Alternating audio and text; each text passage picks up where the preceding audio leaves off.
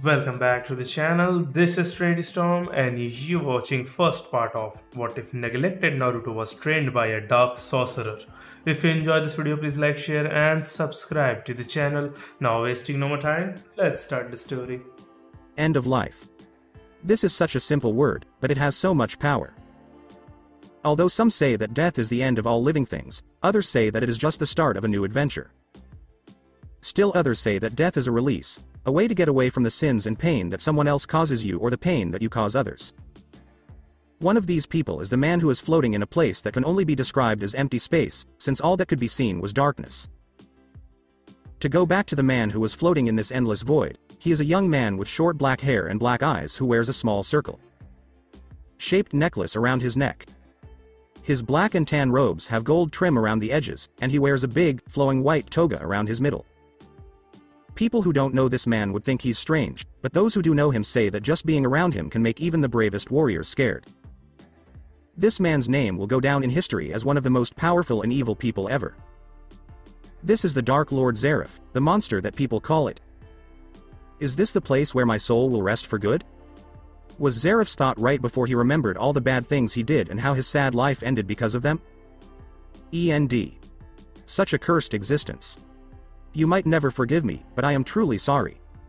Natsu, the powerful mage said softly. He then closed his eyes and accepted that he would never be anything again in the void where he was floating. A strong voice that seemed to be heard everywhere asked Zeref, would you like a chance to make up for your sins? Zeref's eyes popped open quickly in shock. He had been thinking that he would be stuck in this void by himself for all time. Who are you? Zeref asked in a dull voice that showed a bit of interest. The scary voice spoke again, I have had a lot of names Dark Mage. Some see me as evil itself, while others believe I am a necessary force, but I am neither. I'm what your kind would call a god. I am the Shinigami. Zeref was shocked for a second when he realized who the voice was. The god of death came to punish Zeref's soul for the bad things he had done and for making other people do bad things. Zeref spoke softly, ready to accept whatever punishment the god of death would give him. He knew he deserved every punishment this god could give him. That is the task that Kami gave me. However, it is not normal for me to pay special attention to anyone's soul, but for you, someone whose evil deeds brought the complete destruction of his own world, I was tasked to curse your soul and give you eternal punishment, said the Shinigami, his voice completely empty of emotion. Zeref was ready for something like that to happen, so the news didn't surprise him at all. But what the Shinigami said next did. But, the god of death said, Unlike my stupid sister who sees you as nothing but a mistake, I see someone that could be useful to me. This made Zeref wonder what the god of death was talking about. Wasn't he going to be punished? What do you want to talk about? I'm telling you that there is a better way for you to accept your sins. There's a better way to help you than to just punish you, Zeref, the Shinigami said, waiting to see if the little person would take him up on his offer. Is that right? Oh no, there is no way like that. I have done too many bad things for me to be forgiven. Don't joke with me, Shinigami, Zeref said, and there was a hint of anger in his voice. He thought that the god of death was joking with him to avoid punishment and have fun instead. Hum, don't forget who you're talking to. Do you really think I'd waste my time with you like this? I could just send your soul to hell for all time and be done with you, but I think you're too useful to leave that way. So I'll make you a deal, you can either accept your fate and suffer forever for your sins, or you can. You can either do what I tell you to do to make up for your mistakes, the Shinigami said again, hoping that the human would agree. After all, souls as interesting as his weren't common. The Shinigami knew that by doing this, he was breaking Kami's order, but he didn't care, he was tired of letting things happen on their own, but he also knew that he couldn't mess with humans unless they called him, which didn't happen very often. While the Shinigami was waiting for an answer, Zeref couldn't stop thinking about what the god of death had said. Was there really a way for Zeref to make up for his crimes? All of a sudden, Zeref felt a strange emotion, hope. Hope that there was a way he could make up for all the lives he and his demons, END, had destroyed. Hope that he could be forgiven if he did what the Shinigami told him to do. What's your answer, people? Will you make things right, or will you bless your soul for all time? Asked the Shinigami one last time, hoping that this little Dark Lord would give a good answer. I. If it's really possible to do it that way, then. I will do everything I can to make it happen. I don't care if people never forgive me for what I did. In order to find peace with myself, Zeref said, this time with more passion in his voice than ever before. Suddenly, the space around him went cold, and a ghostly figure began to appear. The figure was bigger than Zeref, had long white hair, a face that could only be described as demonic, and a tanto between his fangs. It only took Zeref a second to figure out that the figure was the Shinigami himself. He hadn't thought that before. Alright, Zeref, the man who destroyed his own world and made END are you ready to change the strings of fate? In Zeref's mind, the answer was crystal clear. Yes. Hikaru no Sato, nine years after the Kyuubi attack.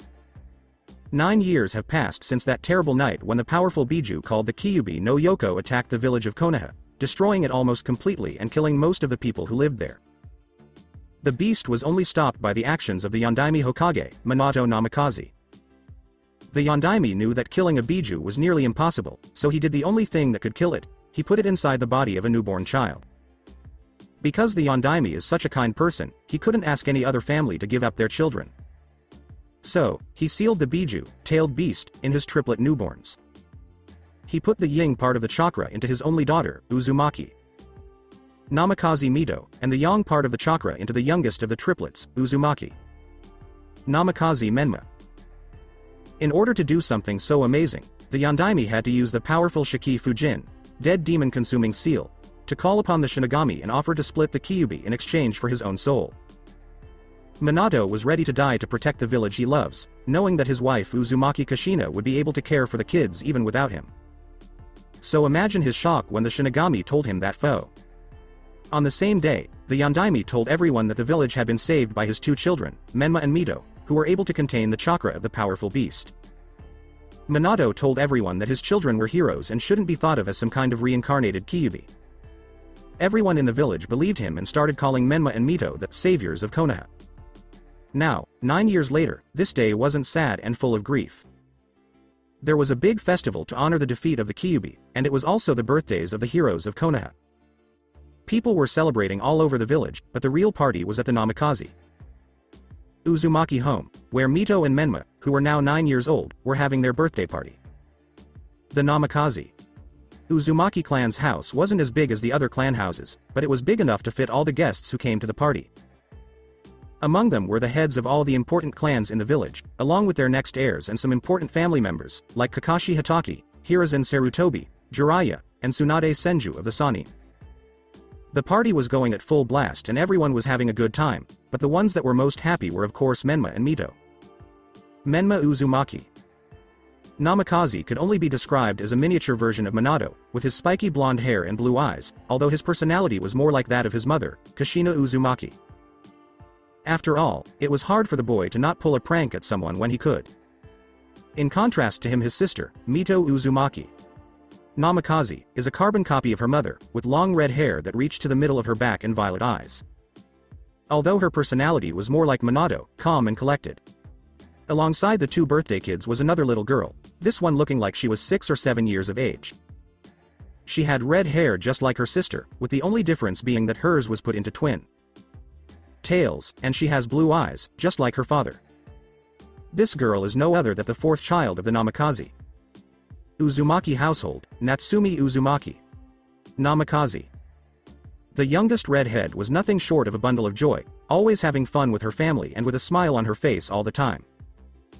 Yes, this scene makes it look like they are the perfect family, but of course nothing is perfect.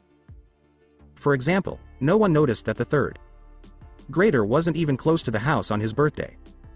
At the same time, on the Hokage monument, while everyone else was having a great time, there was one little boy who felt nothing but sadness and pain.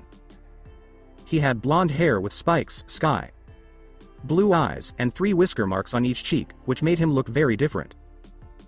The blonde was wearing a black shirt with a red spiral symbolizing his clan and white shorts. He was Naruto Uzumaki. Namikaze, the third child of Uzumaki and Namikaze. You might be wondering why someone like him is here by himself and feeling so sad. The reason is simple. His family has forgotten about him again, just like they do every year.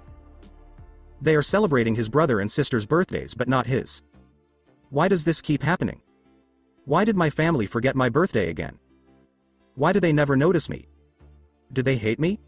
were the thoughts going through the young blonde's mind at the moment.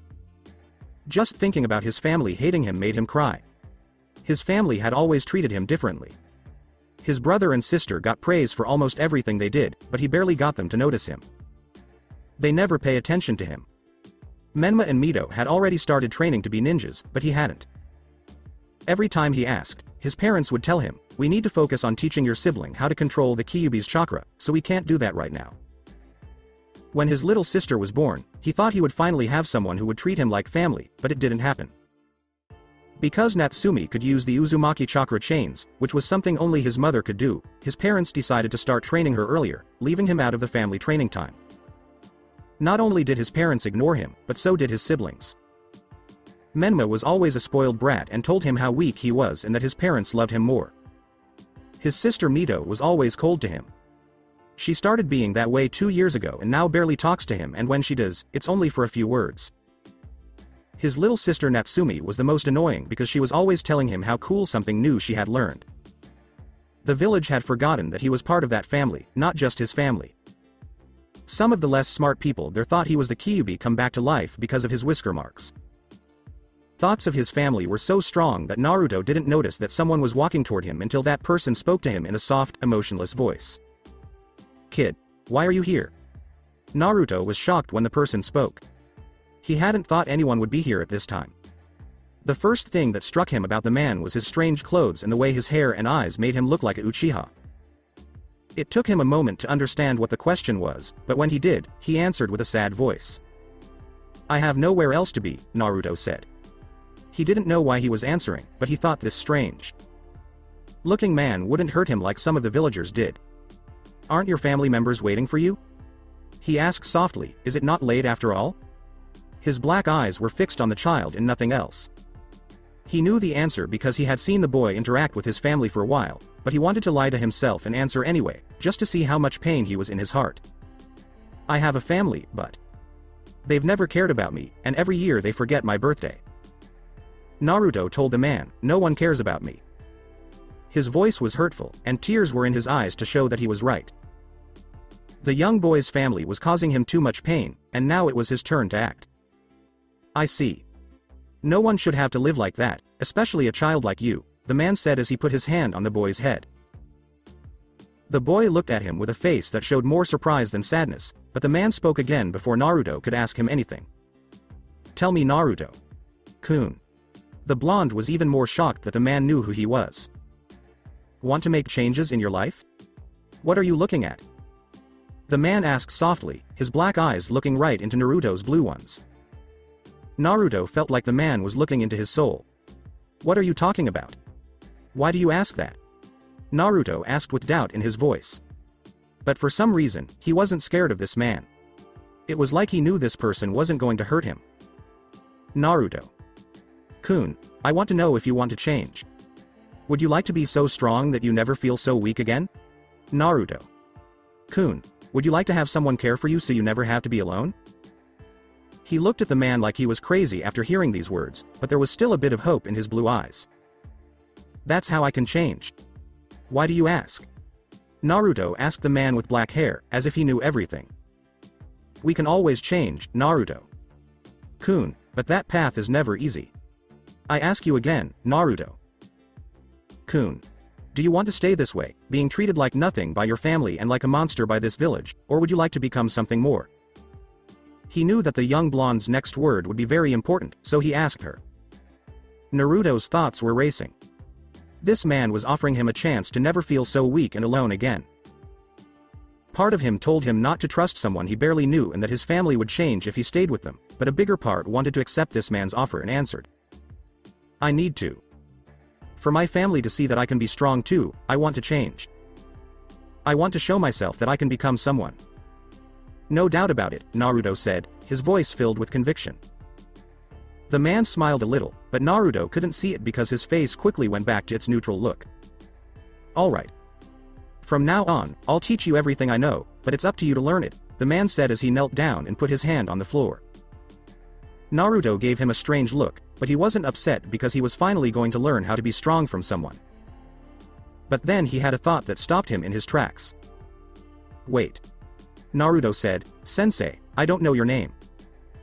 He had just realized that his new sensei had never introduced himself. Sorry, I forgot. There were many names and titles for me, but you can just call me Naruto. Kun. Just as the man was about to say his name, a strange black circle appeared under both Naruto and the man. Naruto almost freaked out, but he wasn't because he had never heard of this kind of jutsu before. He looked away from the circle and saw the man say the name that would stay with him forever. Zeref. After that, they were gone in an instant. After 11 years, Konohagakure no Sato appears in the form of. People in Konoha would probably think the person was crazy if they said there was a magical circle in a hidden part of the Hokage monument that, when activated with magic, led to a secret training area that not even the Hokage knew about. People would think magic didn't exist. Sadly for them, there is such a place. The place in question was big, but very basic. It only had stone walls and a big magical circle that went around the whole floor. There was no sunlight in this training room, so torches built into each wall lit the room. There were only two people in this room at the moment. They were the same people who had trained here for two years before. One of the figures was a tall man with dark black hair and eyes that were even darker. He was dressed in clothes that most people would think were weird. This person is called Zeref, and he is looking at the other figure who has spent a lot of time in this training room over the last two years. The figure in question was definitely a man. He had spiky blonde hair with two bangs that framed his face. He also had deep blue eyes and whisker marks on each cheek. He was wearing a simple black long sleeved shirt with a silver symbol on the back that looked like the head of a dragon. It was very different from what his sensei was wearing. He also had on blue ninja sandals and black cargo pants. He was tall for his age, and his body was fit from working out every day for two years. Naruto Uzumaki. Namikaze was this boy's real name. He was the first son of Minato Namikaze and Kushina Uzumaki and an apprentice of the Dark Lord Zeref. There were holes in Naruto's clothes, and he was sweating like there was no tomorrow. He was hunched over and breathing hard. The young blonde usually looked like this after sparring with his sensei. Zeref, on the other hand, looked perfect, like nothing had happened, which shows how much worse their skills were. He asked Naruto. Kun, are you ready for a break? In a soft voice, as emotionless as ever. Even though it was tough, the Dark Mage already knew the answer. His apprentice was the type to train until he could no longer move. No. I can still go on. Sensei, Naruto said in between breaths as he slowly stood up, ready to fight his sensei again.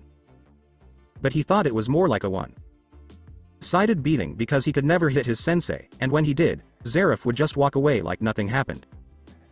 Zeref said, if you say so. And then moved so quickly that Naruto couldn't see him knee him in the stomach. The young blonde fell again, and Naruto tried to get some air by holding his stomach. Zeref told Naruto straight out, you should know when to rest already. Your dedication is admirable, but sometimes it's more stupid than anything else. This made Naruto groan in irritation. The evil wizard went back to the middle of the field and began to meditate. All the while, his apprentice lay on his back in pain, and the last hit didn't help at all. Zeref told his apprentice again, it's been two years, and you still won't rest when I tell you to. You're too stubborn for your own good. This time, his apprentice looked from the ceiling to Zeref. Yes, that's right. It's been two years since I met him, Naruto thought as he remembered the day Zeref took him on as an apprentice. Naruto smiled at the thought of it because it reminded him of the first day he trained with Zeref and learned that he was a mage in his world. That day was one he would never forget for sure. Two years ago, the day after the Kyuubi festival. Naruto groaned as he woke up. He thought yesterday had been the best birthday he had ever had. This was likely because he had finally met someone who cared about him and was giving him a chance to get stronger. And that thought made Naruto jump out of bed as fast as a boy his age could. He then looked around the room he was in, which was clearly not his bedroom. There was only a bed, a desk, a closet, and two doors in this room. One of the doors led to the bathroom. The blonde young woman left the room and went down a long hallway that was lit by torches. Naruto thought, this is really creepy. He wasn't sure if his new sensei really did live in this strange place.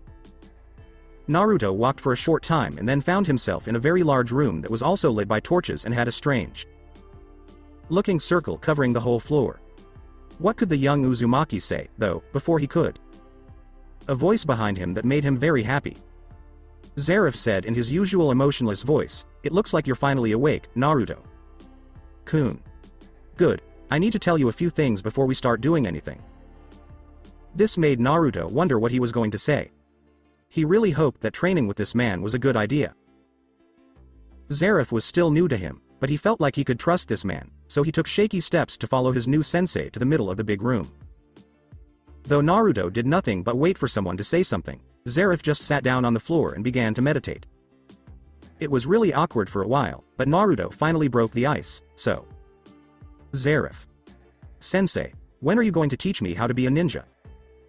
The young blonde asked, a little more excited about the chance to become a strong ninja. However, Zeref's next words pretty much put an end to that dream. I'm not going to teach you how to be a ninja Naruto. Kun, Zeref said softly. He opened his eyes to see how his new apprentice reacted, and it was exactly what he thought it would be, priceless. His mouth opened and closed, but no words came out. His eyes were huge. The young blonde didn't really calm down until a minute later. He was then able to speak, though his voice was rough. While pointing at Zeref with his index finger, Naruto almost yelled, W. What do you am? Mean by that sensei? You told me you were going to teach me everything you know. Or was that nothing but a lie? The dark mage could only sigh at his apprentice's reaction. He knew it was normal for a young boy to yell like that when he was upset, but that didn't mean he had to like it. You should know that I never said I would teach you how to be a ninja. I did say I would teach you everything I know, though. B. But then what are you going to teach me? Naruto yelled again, but Zeref's answer really shut him up. Zeref replied, I'm going to teach you magic, as if it were the most obvious thing in the world. All of a sudden, there was silence. What Naruto was going to say got stuck in his throat when Zeref spoke. Sensei and student both looked at each other blankly for a moment. Of course, it was the young blonde who had to break the ice again. Was that meant to be funny? When Naruto looked at his new teacher like he was crazy, he said, because if it was, it was a really bad one, sensei. Zeref could only sigh at this reaction, but he thought it was normal, so he would just have to prove what he was talking about. Perhaps a little demonstration is needed, Zeref said as he stretched out his arm and opened his palm. Before Naruto could say anything else about his sensei's mental state, a small black ball appeared in Zeref's hand. Naruto was amazed, and he was even more amazed when Zeref threw the black ball at one of the walls. When the black mass of magic hit the wall, it caused a big explosion that shook the whole room. I asked, what kind of jutsu was that? Are you sure that the spell wasn't something weird that his sensei made? Naruto asked. What Naruto? Kun saw wasn't a jutsu move. It was magic, Zeref replied, getting ready for the many questions Naruto would have. But that can't happen, magic doesn't exist. It's not possible, right? No, Naruto said, sounding a little unsure at the end. Zeref sighed again and motioned for Naruto to sit down on the ground. This might take a while Naruto. Kun, but I will explain everything to you. Zeref told Naruto everything, from how he was from another world and was brought here to make things right to how magic worked in his world. All the while, Naruto paid full attention to Zeref and sometimes asked questions or made comments about certain things. Zeref didn't want to lie to his new apprentice, so he chose not to tell him that his world had been destroyed by people he had created, at least not for now. He was afraid. At the end of the story, Zeref had to say that Naruto's understanding was impressive. Naruto not only understood everything Zeref said, but he also said some pretty deep things about magic. Zeref did nothing after Naruto finished explaining everything. He was waiting to see if the blonde would ask anything else, which she did after a moment of thought. But sensei, I don't have a magic stone in my body. How can I learn magic? Naruto asked, still thinking about what Zeref had said. He had to admit that his new sensei's story sounded really crazy, but since he showed some magic while talking, he had no choice but to believe it. That didn't mean that the young blonde didn't have any more questions, though. What did his sensei do in his old world that made him want to correct it so badly? And how exactly was he sent to this world? You're right, Naruto. Kun. No one in this world can learn how to use magic because they don't have a magic container full of magical power. It's the same way that I can't use any jutsu because I don't have any chakra in me. This world also doesn't have Aethernano, which is needed to refill a mage's magic container after using magic, Zeref replied. He didn't seem to care about this problem at all, though, because he already had a plan for Naruto to use magic, though it might take a while to work. But how will I learn it if I can't use it? If there is no Aethernano in this world, how are you going to fill up your magical container, sensei? That's what Naruto asked again. Don't worry about that, Naruto. Kun. I promise that you will be able to use magic when the time is right. Just trust me. Regarding your second question, I have discovered a third type of chakra that comes from nature. After a lot of trial and error, I was able to use that natural energy to refill my magic container by meditating, Zeref replied, remembering some of the stranger things that had occurred when he was experimenting with natural energy. The Dark Lord was going to remember those days forever. What are you going to teach me now? First, Naruto. Kun, we'll train your body, mind, and spirit. Naruto. Kun, I want to remind you that once we start, we can't go back. Got it? Zeref said just as the big magical circle on the floor flashed with energy, lighting up the whole room with purple light. Naruto looked at the circle in surprise, but then he looked into his sensei's eyes, knowing that this man was trying to figure out if he was going to doubt or second. Guess his choice. But the young blonde had already made up his mind that he was going to get strong, and it didn't matter if he learned magic instead of jutsu, so that. Yes. So the training began. Remembering that day made Naruto start thinking about the training regime that his sensei had created especially for him, starting with every day after breakfast, which Naruto always ate alone in his bedroom before his family woke up, he would run to the Hokage monument where Zeref would be waiting for him to activate the magical circle and teleport them both his secret training room. There they would simply start training. From Mondays to Wednesday they would do nothing but physical training, which had not only given Naruto a top notch physical condition, but also made sure that his reflexes and pain tolerance were just as good. To make things harder, Naruto's clothes had a spell that would make them feel a lot heavier than they really were while he was on the training room, and he was not allowed to take them off while he was here. Now on Thursday and Fridays it would be nothing but combat training, in which Zeref would teach him his own combat style along with other styles that he knew just to see which style suited Naruto better, and after that the two of them would spar, meaning Zeref would kick Naruto's ass like there would be no tomorrow while the blonde complained about how unfair that was. Zeref may have not liked to fight with his fists, but that did not mean he wasn't a master at hand. 2. Hand combat, something that Naruto's bruised body could testify to. Saturday, the last day of training, was the calmest because all they did was play games like Shogi or Zeref would put his apprentice in different war. Like situations and tell him how to win. After that, they would sit and meditate, which Naruto wasn't very good at at first, and Zeref would hit him in the head every time he moved or made a sound, which got him a lot of curses. Zeref told Naruto that he could do anything on Sundays, but he couldn't come to the training room. That's why Naruto usually spent his free time doing chakra exercises in an empty training ground. Zeref told him that just because he would be learning magic, he shouldn't forget about jutsus completely, because being able to use both was an advantage that Naruto shouldn't give up, so Naruto spent a lot of his free time doing cha. In the beginning, Naruto wasn't sure if he could use magic because he didn't have a magic container like his sensei did. But Zeref's attack on him just a year after he started training took away all of his doubts. That was the day he finally turned into a mage. A room hidden in the hills, Zeref's training center, a year ago. Naruto, the young blonde, was walking down the hall that led to the training room. He was thinking about what his sensei wanted. Since they started training, his sensei had never asked him to come on a Sunday, so whatever he wanted was probably going to be big. When the young apprentice finally got to the training room, his sensei was sitting in the middle, meditating, just like he always was. Naruto always wondered if Zeref did something else besides train him and meditate, since that's all he had seen him do since they met. Just as Naruto walked into the room, he could feel how heavy his clothes were getting. It didn't bother him much at this point, though. Naruto sighed and thought, which means they are going to get heavier soon. He already knew what it would feel like when that happened. The young blonde apprentice walked up to his sensei and sat down, waiting for Zeref to tell him something. The dark mage opened his eyes and looked at his apprentice's eyes again, but this time Naruto felt like he was staring into his soul, just like the first time they met. You asked me how you were going to use magic. Do you remember what I told you? Naruto nodded his head in agreement as Zeref asked in a soft voice. Well, I think you're finally ready, Naruto. Kun. After today, you'll be able to use magic like I can, Zeref said.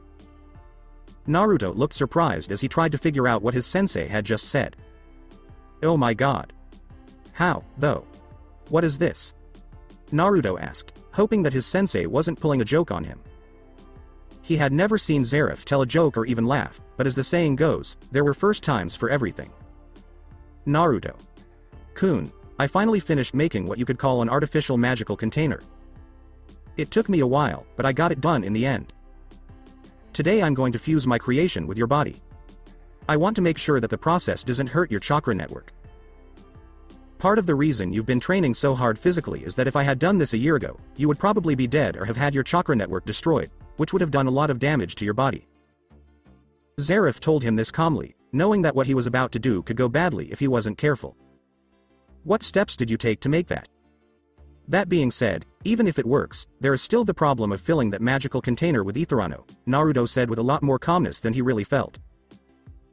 Zeref had taught him how to control his emotions, telling him that it was an important part of the training because magic was based on emotions and accidents could happen if he didn't learn how to keep them in check. I used the Kuroi Geijutsu, which are the highest form of dark magic, to make it. I won't tell you how to make it because the Kuroi Geijutsu, Black Arts, is one of the strongest and least understood types of magic there is, and someone as young as you shouldn't know about them, Zeref said. When he talked about this kind of dark magic, Zeref's emotionless voice got a little rough, which made Naruto flinch. I'm sorry, Naruto. Kun, but I should never have learned that kind of magic. But I did, and it's only brought me sadness ever since. This is the first time I've used that magic to make something that doesn't make me feel bad, Zeref said softly, calming Naruto down again. Naruto wondered how strong that kind of magic was if even his sensei felt that way about it. In theory, even if I put a magical container in your body, it won't be able to fill itself because there is no Aethernano in this world. The second question you asked is true. But I was able to fix that. When I fuse the magical container with your body, I'll change your chakra network so that it feeds your magical container. Since this magical container is something I made, I made it so that it turns the chakra it gets into Aethernano, which lets you use magic, Zeref said. His apprentice was shocked and amazed that his sensei could make something like that. Now lie on your back. This procedure is going to be long and hard, and it's probably going to hurt like nothing else you've felt, Zeref said as he walked to the far end of the room where a small box was. Naruto did what he was told, and as soon as he did, black chains appeared from the ground and wrapped around all of his limbs, stopping him from moving at all. What the hell is this kind of teacher? He yelled and tried to move his arms and legs, but the chains were too tight, so he ended up flopping around on his stomach. Noob, you can't move around while I do this. Something bad could happen. It's going to hurt you a lot, but it's the only way, Zeref said with a frown on his face because he knew he was about to cause his apprentice the worst pain of his life. Sadly, there was no other way for this to work for either of them, but mostly for Naruto. Zeref opened the wooden box he was holding and took out what looked like a simple glass sphere with an arcane symbol on one side. Suddenly, the magical circle in the floor appeared. Naruto would always remember that day because it was both the day he learned how to use magic and the day he was in the most pain he never had before. It had been like that all day, and Naruto had passed out in the middle because he was so hurt. At the end, Zeref was even panting because the process had made his magic weaker. After that, Naruto had never been so tired. His whole body felt so weak that he couldn't even walk straight. Zeref told him that it was just his body getting used to it and that his chakra would be low until his magic container was fully charged. He also told him that he wouldn't be training next week and that he should just stay home and rest, which Naruto couldn't even muster the strength to complain about. Everything was well worth it, though, because Naruto could now use magic like a mage from his sensei's world. Too bad Zeref hadn't taught him any real spells. He had only shown him how to feel and release his magic. Zeref had to wait for Naruto's chakra network and magical container to stabilize before teaching him anything. This was because Naruto's body was still too unstable after the surgery, so the training stayed the same for a while, with lessons about letting out his own magic added every few days. What's on your mind, Naruto? Kun? Naruto was thinking about the past when Zeref spoke up and stopped him. Nothing, just thinking about everything that you taught me these past two years. The blonde always had that subject on her mind, so Zeref told her, I see. I know you want to learn spells already Naruto. Kun, but don't worry, your patience will be rewarded when the time comes. Naruto mumbled, yeah, I know. That doesn't mean I have to like it though. He tried to sound like his sensei, but his voice was too emotionless. They thought about things in silence for a while, with one meditating and the other just taking it easy until Zeref decided it was time to end the day. Zeref told him, you should go home already Naruto. Kun, it's getting late, and he could tell that his pupil was ticked off. While talking about his family, the young Uzumaki always had a cold and distant tone. I already told you sensei, it doesn't matter if I'm late or not, no one is waiting for me anyway, he said. Even after two years, his family still didn't care about him. His parents ignored him all the time, and his siblings talked about him like he was trash. Over the past two years, all the hurt and sadness he had been feeling slowly turned into anger and a little self. Pity. After all, what kind of parent forgets about their child? Which siblings make you feel like you're not as important as dirt? Zeref wisely told Naruto, I know how you feel about your family, but you shouldn't let hate fill your heart.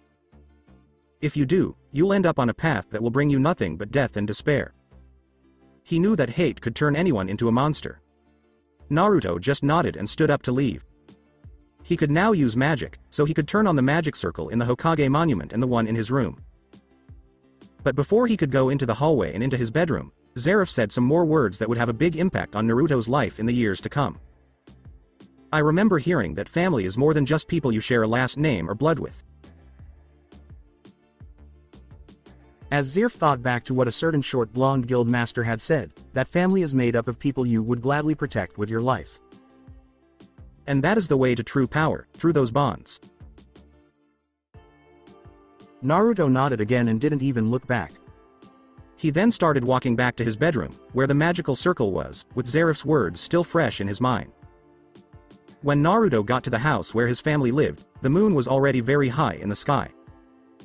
His refusal to call this place home was because it didn't even remotely call or comfort him.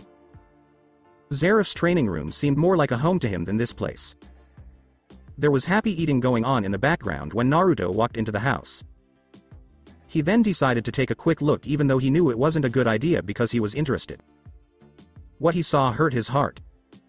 While his family ate happily, Kushina and Minato listened patiently as Menma, Mito, and Natsumi talked about all the fun things they had done that day.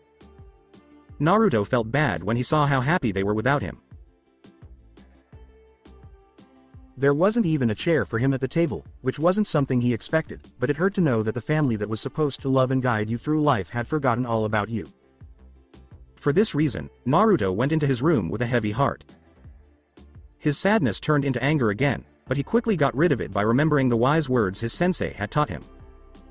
Naruto asked himself in his mind, why'd I still care? He was sure that his family would never love or care about him. Right then, Zeref's last words of the day came to mind, and he fully agreed with them. After all, what kind of family doesn't take care of one of its own members to the point where the person they trust the most is an emotionless mage from another world? I'm sick of this. If they don't want to be my family, I won't beg them to accept me. If they think they'll be happier without me, I won't stand in their way. I'm sick of waiting for them to treat me like a son or a brother. They're not my family anymore. They never were my family to begin with. Zeref is my only family. He cares about me more than anyone else has ever come close to being a father. Naruto, and he felt relieved for the first time in a long time. It was like a heavy weight had been lifted off his shoulders.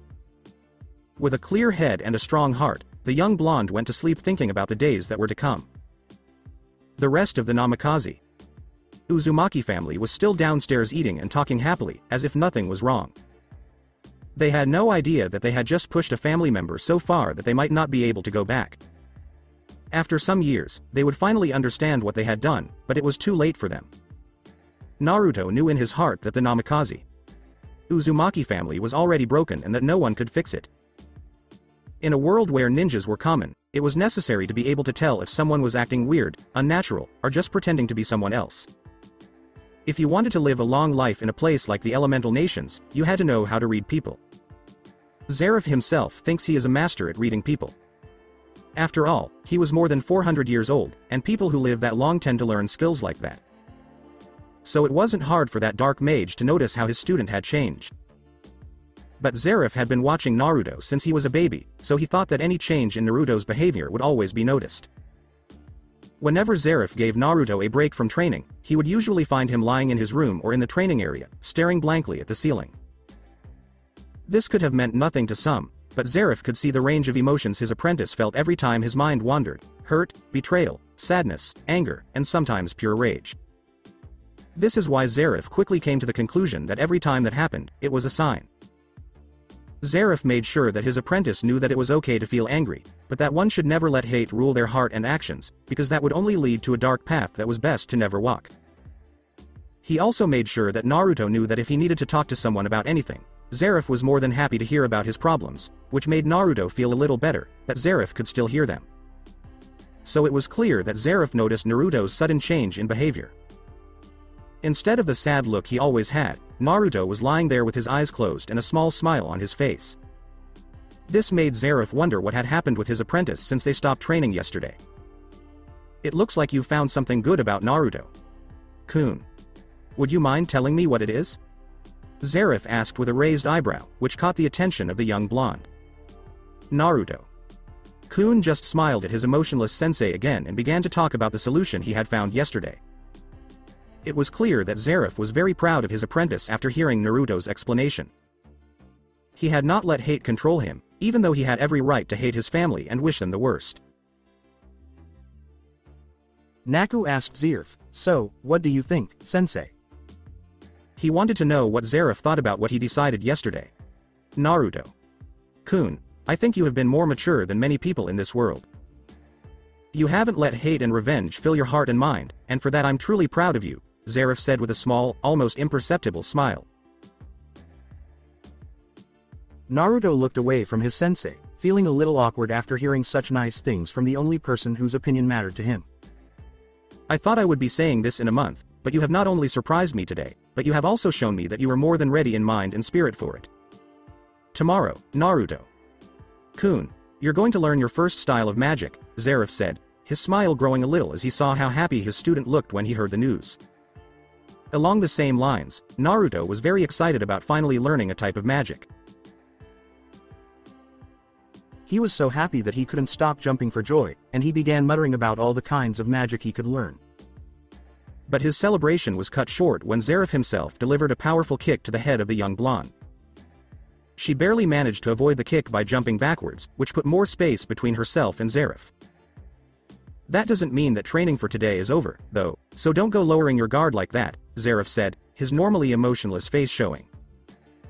His student quickly nodded, still smiling, because he knew that tomorrow would be even better because he would finally be able to use magic properly.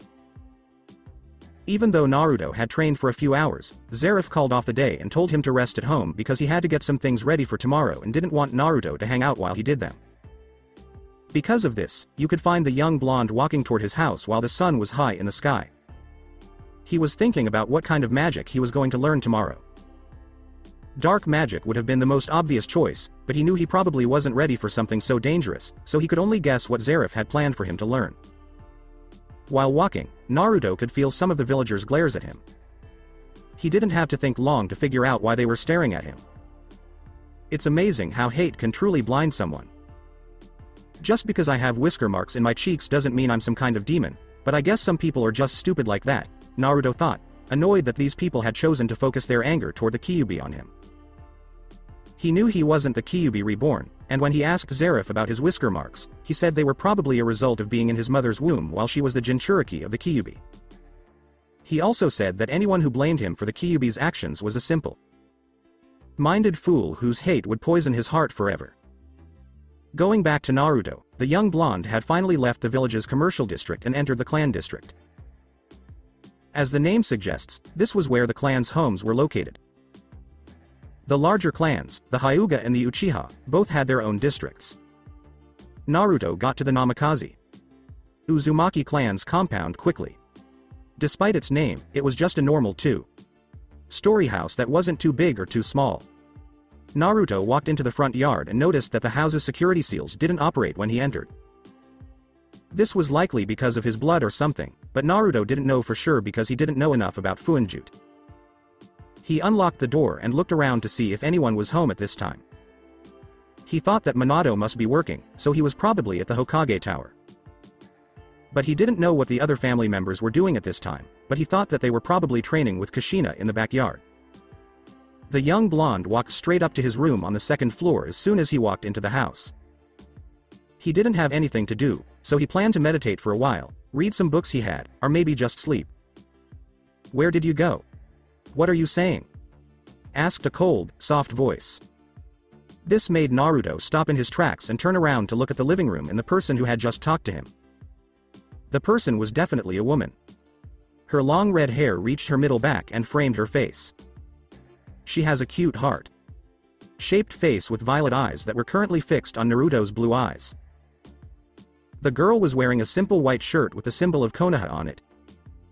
She was also wearing Anbu pants that she usually wore for training and blue sandals.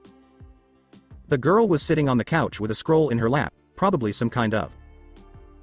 If Naruto was getting better at controlling his feelings, it wouldn't even come close to the level of control his sensei has. That's why the young blonde looked surprised when he saw who had asked where he was. He couldn't even remember the last time he talked to his sister, let alone when she started the conversation. His sister wasn't always mean to him. When they were seven, she stopped talking to him unless she had to and pretended he wasn't there. Before that, she was nice to him, she would play with him, and she even stood up for him when Menma insulted him. Naruto felt terrible when the one family member who used to treat him like a real family turned into a cold girl who didn't care about him. He always wondered why she had changed so much about how she felt about him. The young apprentice of Zeref had to take a moment to get the shock off of his face before telling the lie that his sensei had told him to tell anyone who asked where he was at the moment, which had never happened. Naruto tried hard to keep a straight face and a calm voice as he replied, I was at the library. His sister nodded in agreement and then went back to reading her scroll. Naruto thought the conversation was over, so the young blonde kept walking to his room. He didn't notice that his sister was watching him very closely until he was out of sight. He also missed the moment when her cold eyes turned to ones that showed how she really felt about her brother. Sad and regretful ones. The next day, Naruto was excited and Zeref was emotionless. He was holding a wooden box that looked like the one that held his magical container and standing in the middle of the magical circle that went across the floor of the training room. So, what am I going to learn, teacher? What's inside that wooden box? Naruto asked, looking at Zeref's hand with a mix of interest and fear. He remembered very well what happened the last time something was taken out of that box. Zeref opened the small box and took out what was inside, which was a crystal sphere about the size of his hand. The sphere was very strange because it was blue on the inside and had something yellow in the middle that looked like a spark. There was also a symbol on one side of the sphere that looked exactly like the one Naruto had on the back of his shirt, the head of a silver dragon. This is Naruto. Could you tell me what it is? Are you sure you remember what I taught you about the magical world? Zeref asked his apprentice. Naruto looked at the glass sphere for a while and thought about everything Zeref had told him about his world. It was clear that the sphere was magical. Naruto was amazed and remembered learning about these magical balls that people used for different reasons. It's a lacrima, he said. This is a unique lacrima, you could call it a dragon lacrima, Zeref confirmed, making his apprentice stare at the sphere in awe until he realized what his teacher had planned. Does this mean I'm going to learn Metsuryu Maho, Dragon Slayer magic? Naruto was shocked. His sensei was going to teach him such a powerful lost magic? There are so many kinds of magic out there. Yes Naruto. Kun, I decided that before teaching you my own style of magic you need to learn something different and since the advantages of this type of magic can't be denied, I decided that it would be a good style for you to learn, replied Zeref in a straightforward way voice. As you already know, Naruto. Kun, when a dragon lacrima is put into the body of a mage, it makes them able to use Dragon Slayer magic as if they had been training with a real dragon. That's what we're going to do today. Fuse this lacrima with your body, making you a second. Generation Dragon Slayer, Zeref said, pausing to see if his apprentice had any questions. Naruto whispered, Wow, I'm going to be a Dragon Slayer. He looked at the crystal ball like it was a god, which it probably was to him. If I may ask, what kind of element does that lacrima hold? Asked the young blonde, who was very interested in everything to do with the sphere that would let him use such strong magic. This lacrima has the lightning element, Naruto. Kun. That means you will be learning Kaminari no Metsuryu Maho, lightning dragon slayer magic, Zeref said, but he had one more thing to say before fusing the sphere with his apprentice. As we prepare to fuse the two, Naruto. Kun, there is one more thing you should know. This lacrima holds more than just dragon magic. It holds a soul as well. The soul of a dragon, Zeref told his apprentice, shocking him to the core. What? But Zeref. Sensei, how is that even possible? No way that could be possible, Naruto thought. Even if you could find a way to seal a dragon's soul in a lacrima, there would still be the matter of founding the soul itself. After all, there weren't any dragons in the elemental nations, right? You need to understand something, Naruto. Kun. Dragons are the strongest living things in the world. It's not hard to go from one world to another when you have that much power. At least, it wasn't when there were a lot of them. There were five different dragons that came to this world a long time ago during the Civil Dragon War in my world. Each dragon had the power of a different element. That was done to make sure that their race wouldn't go extinct if the Civil War went badly. One of them, Raijin the Lightning Dragon King of this world, I found on my travels. He said no when I asked if he could lend me some of his magic, which was disappointing. I knew that a real dragon would never say no to a duel, so I challenged him to one. If I won, he would give me some of his power, but if I lost, he would kill me. I was able to beat him, even though it wasn't easy. As he was dying, he told me that he wanted to know who would use his magic, so I fused his soul with the lacrima that holds his powers. Hello Naruto. Kun, do you get it now? Said Zeref, thinking back to his meeting with Raijin, the powerful dragon. It was Raijin who gave Zeref the information about the other four dragons, but he hasn't been able to find any of them yet. Naruto was thinking about what his sensei had just said, feeling both shocked and amazed. Shocked that there really are dragons in the elemental nations, and amazed that his sensei had been able to defeat one. If what he knows about dragons is true, which it should be since Zeref told him about them, then his sensei is one of the strongest people in the elemental nations right now. Sensei, will the soul inside the lacrima change the process? What exactly is going to happen when the orb of crystal and I fuse? Naruto asked after giving what his sensei had just said some thought. Of course, hearing that made Naruto a little nervous because he would be meeting Raijin. Yes and no Naruto. Kun, Zeref replied. I can assure you that the process itself won't be dangerous to you, even with the soul in the lacrima. But I can also tell you that you will probably have to meet with Raijin himself. After all, that's why I put his soul in the lacrima in the first place. She told Zeref, alright, and don't worry, this won't hurt as much as the last time we did something similar. This was just before the magic circle came back to life.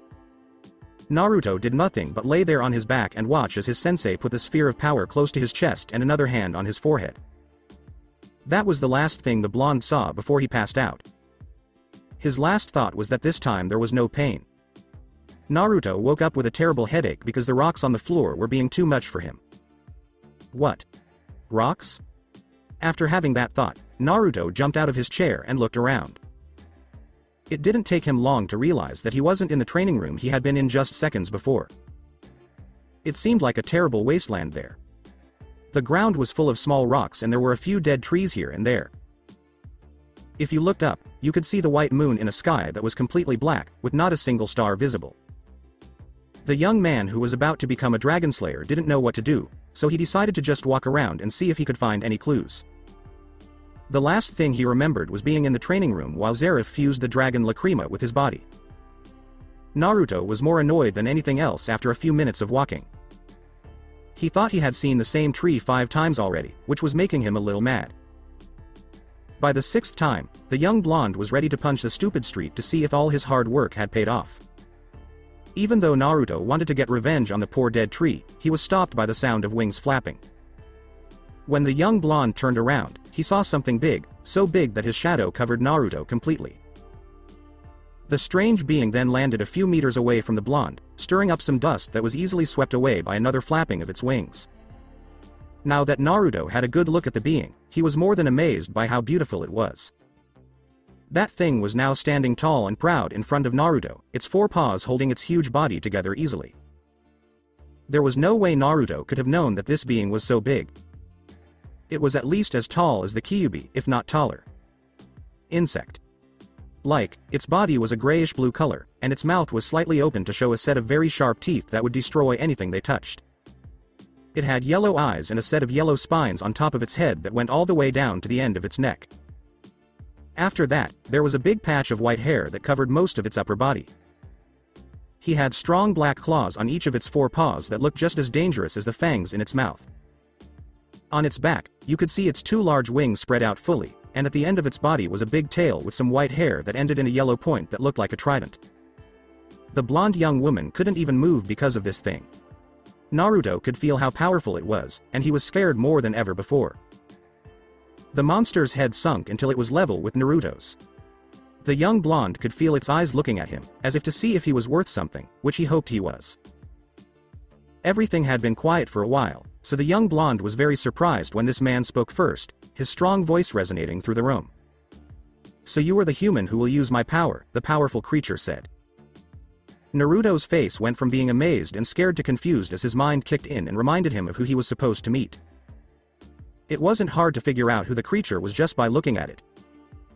Naruto tried hard to hide his fear in his voice and face as he said, You are Raijin, the Dragon King of Lightning. Correct little human, my name is Raijin and that is my title. Although I guess I should say it was my title since I'm already dead after all, verified the strong dragon. Do you hate my sensei for killing you? He felt bad that he let his curiosity get the best of him and asked Naruto out of the blue. After all, he didn't want to bother someone that could eat him. Raijin said, if you mean Zeref, then no, I don't hate him. I accepted his challenge after all. My dead it's my own fault for losing to a human, not the human that beat me. Although I'm both surprised and happy to see that he accepted my dying request. Naruto let out a breath he didn't know he was holding, relieved that this dragon didn't hold a grudge against his sensei. He told me that your last wish was to meet the person who can use your magic. This time Naruto was a little more calm.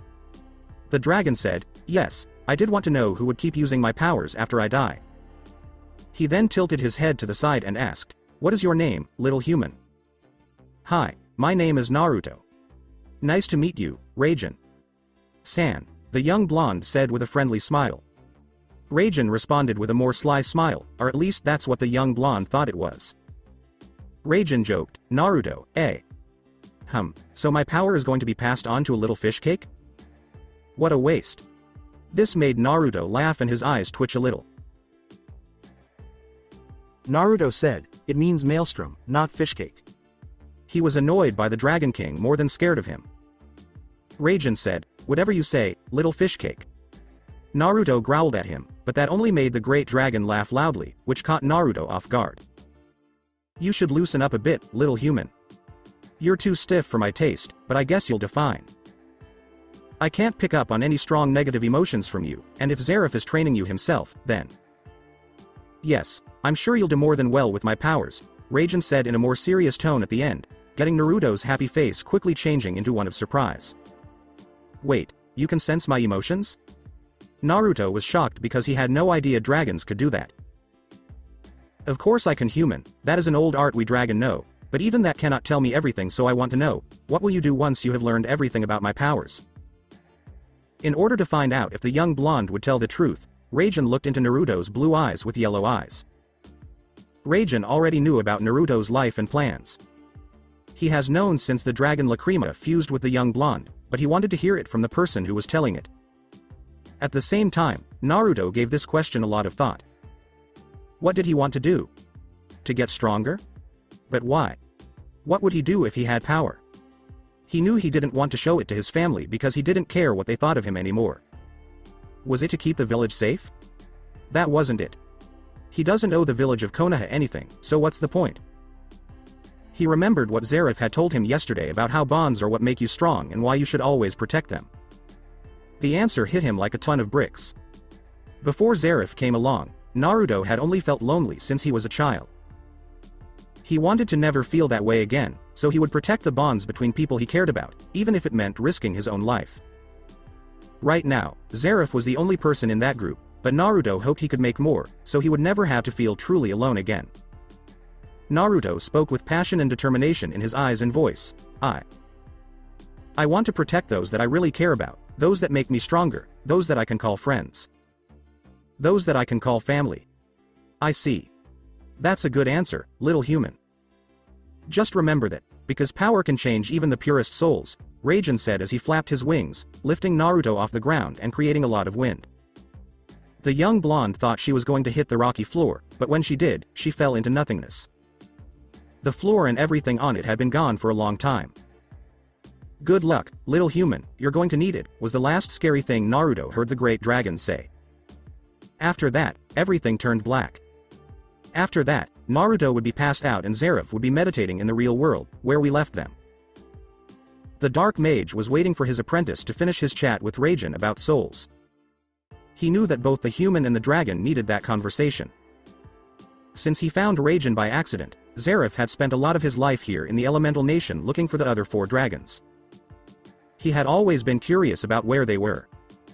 In reality, he had heard that Oni no Kuni, Demon Country, was home to a powerful monster, so he went there to find out for himself. He ended up in a huge cave where he found the dragon. He didn't want to miss the chance, so he asked the strong animal to give him some of its power. That way, when he met Naruto, he would have a strong magic to teach him. The dragon turned down Zeref's request, saying he wouldn't mess with humans or give them power. So Zeref had to use Plan B and challenge the old lizard to a duel. He had to admit that Raijin was tough, but not as strong as someone like Acnologia, so Zeref beat him. He then sealed some of Raijin's power in the lacrima and put the dragon's soul inside it as well, hoping to at least grant the dragon's dying wish of finding out who was going to use his magic. Zeref then went to find the other four dragons in the hopes that they would give him their powers without having to fight them. He tried to find all of them but couldn't, so he decided to do the best he could with what he had. Which, if you asked him, was a lot. He had to say that Kaminari no Metsuryu Maho, Lightning Dragon Slayer magic, was a pretty powerful lost magic and that being immune to one of the elements was a damn good advantage in a world where a lot of its techniques were based on them. Someone moaned, ah, my head. Which caught Zeref's attention. Of course, the person who just groaned was Naruto, who had just gotten up from having a thought conversation with Raijin. Zeref softly asked Naruto, how do you feel, Naruto? Kun? He planned to ask later for more information about Naruto's conversation with Raijin. Natsu didn't answer, though. He just smiled and looked at his teacher before raising his right arm and making a fist. Drawing on his magic, Naruto gave it shape in his mind, like a lightning bolt, which came naturally to him. Just as Zeref looked, Naruto's arm began to give off static until it was completely covered in electricity. I think I'm good, sensei. On that day, a dragon. Slayer was born. Konohagakure no Sato, 12 years after the attack by the Kyuubi. The Ninja School. Young children came here, and after three years, they could finally become ninjas in the village. The strongest team, the Densetsu no Sannin, Great Three Ninjas, was formed here, and right now a special group of students were starting their first month of school. What's so great about this group? The answer was easy. It was the fact that most of the young ninjas who were being trained were the children or grandchildren of Konoha's many clans. As soon as they turned 13, these young people would be ninjas. They were the village's future, and the Ninja Academy was where they would take their first steps toward becoming proud shinobi and kunoichi of the leaf. One of these kids was a blond boy with blue eyes and two sets of whiskers on his cheeks. His seat was in the very back of the class, right next to a window. He was thinking about how he could be training instead of learning about the history of the village. And that boy was none other than our hero, Uzumaki. Namikaze Naruto. And right now, that hero was, well, bored. He knew that Ninja Academy didn't have very high standards, but after only three weeks of class, he was sure that the next three years wouldn't be any better. That's because all they did in class was talk about the Shoden and how great he was. We get it. He was a good shinobi. You don't have to tell us that again. Again and again, the young Dragon Slayer thought as he let out a frustrated sigh. He didn't like that these lectures meant he had to cut his normal training with Zeref in half. Naruto was worried that his parents would forget to register him before the academy even started. It wasn't until his sensei told him that he had been registered since birth because of village law that he calmed down. The young blonde had, of course, talked to his sensei about how to change his training schedule to fit with the academies. Zeref had just told them that he would be going to the academy every day and then coming back to the training room to train for the rest of the day. This meant that he would only have half as much time to train every day, which made Naruto very angry, but there was nothing he could do. Thinking about the time he didn't get to train made Naruto remember how Zeref changed the way he usually trained. It wasn't that big. Some days were just magical training with his Kaminari no Metsuryu Maho, Lightning Dragon Slayer magic. Zeref made him use that magic in their spars, but he still couldn't beat his sensei, and Zeref hadn't even used magic in spars before. His sensei told him that since he was a 2-do generation dragon slayer and didn't have a dragon to train with, he would have to make up his own spells. This made the young blonde nervous at first, but he soon realized it wasn't that hard. He could picture the different techniques in his mind, he just had to learn how to use them in real life. According to Zeref, this was probably a side effect of having Raijin's soul inside him. He also told him that he could probably learn more spells in his mind if he worked harder, but it was up to him to practice and get good at them. That, along with Zeref's personal advice, since he had seen a lot of dragons and dragon slayers, meant that Naruto was making great progress in his magic. The young Zeref apprentice was thinking when he heard a sigh to his right. This made the young blonde turn to his right to see who it was, he thought it was probably the same person who was bored as him. He had to admit that he wasn't surprised to see who it was, she always sat next to him in the same spot. The girl's black hair was pulled back into a ponytail that just touched the beginning of her back. She also had two bangs that framed her face. Her eyes were black and her skin was pale. She was dressed in a simple blue shirt with the symbol of her clan on the back of it. She also had on white shorts and blue sandals. Yes, that girl was Uchiha Sasaki. She was the daughter of the head of the Uchiha clan and the little sister of the genius Uchiha Itachi. Like our young hero, she was really bored. Naruto and the young Uchiha both knew that the Academy's standards had dropped after the Third Ninja War because her brother had told her. But the young Uchiha thought this was getting silly. This might be a little more interesting if he talked about Uchiha Madara, the young Uchiha thought. All the instructor has talked about is Hashirama Senju and his Mokuton, wood release. He was sick and tired of hearing about the Shodem all the time. It wasn't a surprise that she liked Uchiha Madara more than Senju Hashirama. He had been her hero for as long as she could remember. Even though he was a traitor to the village, he was still seen as the strongest Uchiha, and Uchiha Sasaki wanted power more than anything else. Now if only she could have gotten that strong without being kicked out of the village and having to fight the Hokage, which Madara was famous for. The little black girl with black hair felt like someone was watching her from the left. When she turned around, all she saw was the blonde girl who always sat there reading a scroll and didn't pay any attention to the Chunin teacher's lesson. Sasaki had to admit that she had never talked to the first son of the Namikaze. Uzumaki clan. The reason was pretty simple, she wasn't good at making friends. In fact, the only other kid in her class she talked to was Mito, and that was because her mother Makoto and Mito's mother were close friends. She always sat here because there were no other seats available on the first day of class, so she had to take the last one, which was the one next to young Naruto. After that day, she stayed there even though there were other available seats because, unlike most of the other students, Naruto was pretty quiet and didn't talk to her in any way, which Sasaki liked because she could escape. The young Uchiha looked at the young blonde with a raised eyebrow. She was a little interested in what he was reading, but not enough to ask, so she just went back to paying attention to the class, even though she thought this was a waste of time. At the same time, Zeref's young apprentice had already forgotten all about the lesson and was reading a scroll about Fuinjutsu, sealing techniques, which Naruto thought was very interesting. He thought it might have something to do with his Uzumaki blood, since that clan was known for making amazing seals. Also, the art was perfect for someone like him, whose training made it easy for him to focus on something so complicated. For these boys and girls at the academy, their lives were just beginning, which made more than one student mad. Many of the students who are leaving the academy now that class is overthought, thank Kami. One of them was Naruto, who was glad that the boring torture they call lessons was over and that he could finally train with his sensei. That young blonde man began to walk toward the magical circle, this time, though, he wasn't going to the Hokage monument. After walking for a while, Naruto reached one of the village's residential areas. After walking for a few more minutes, he reached an empty alley.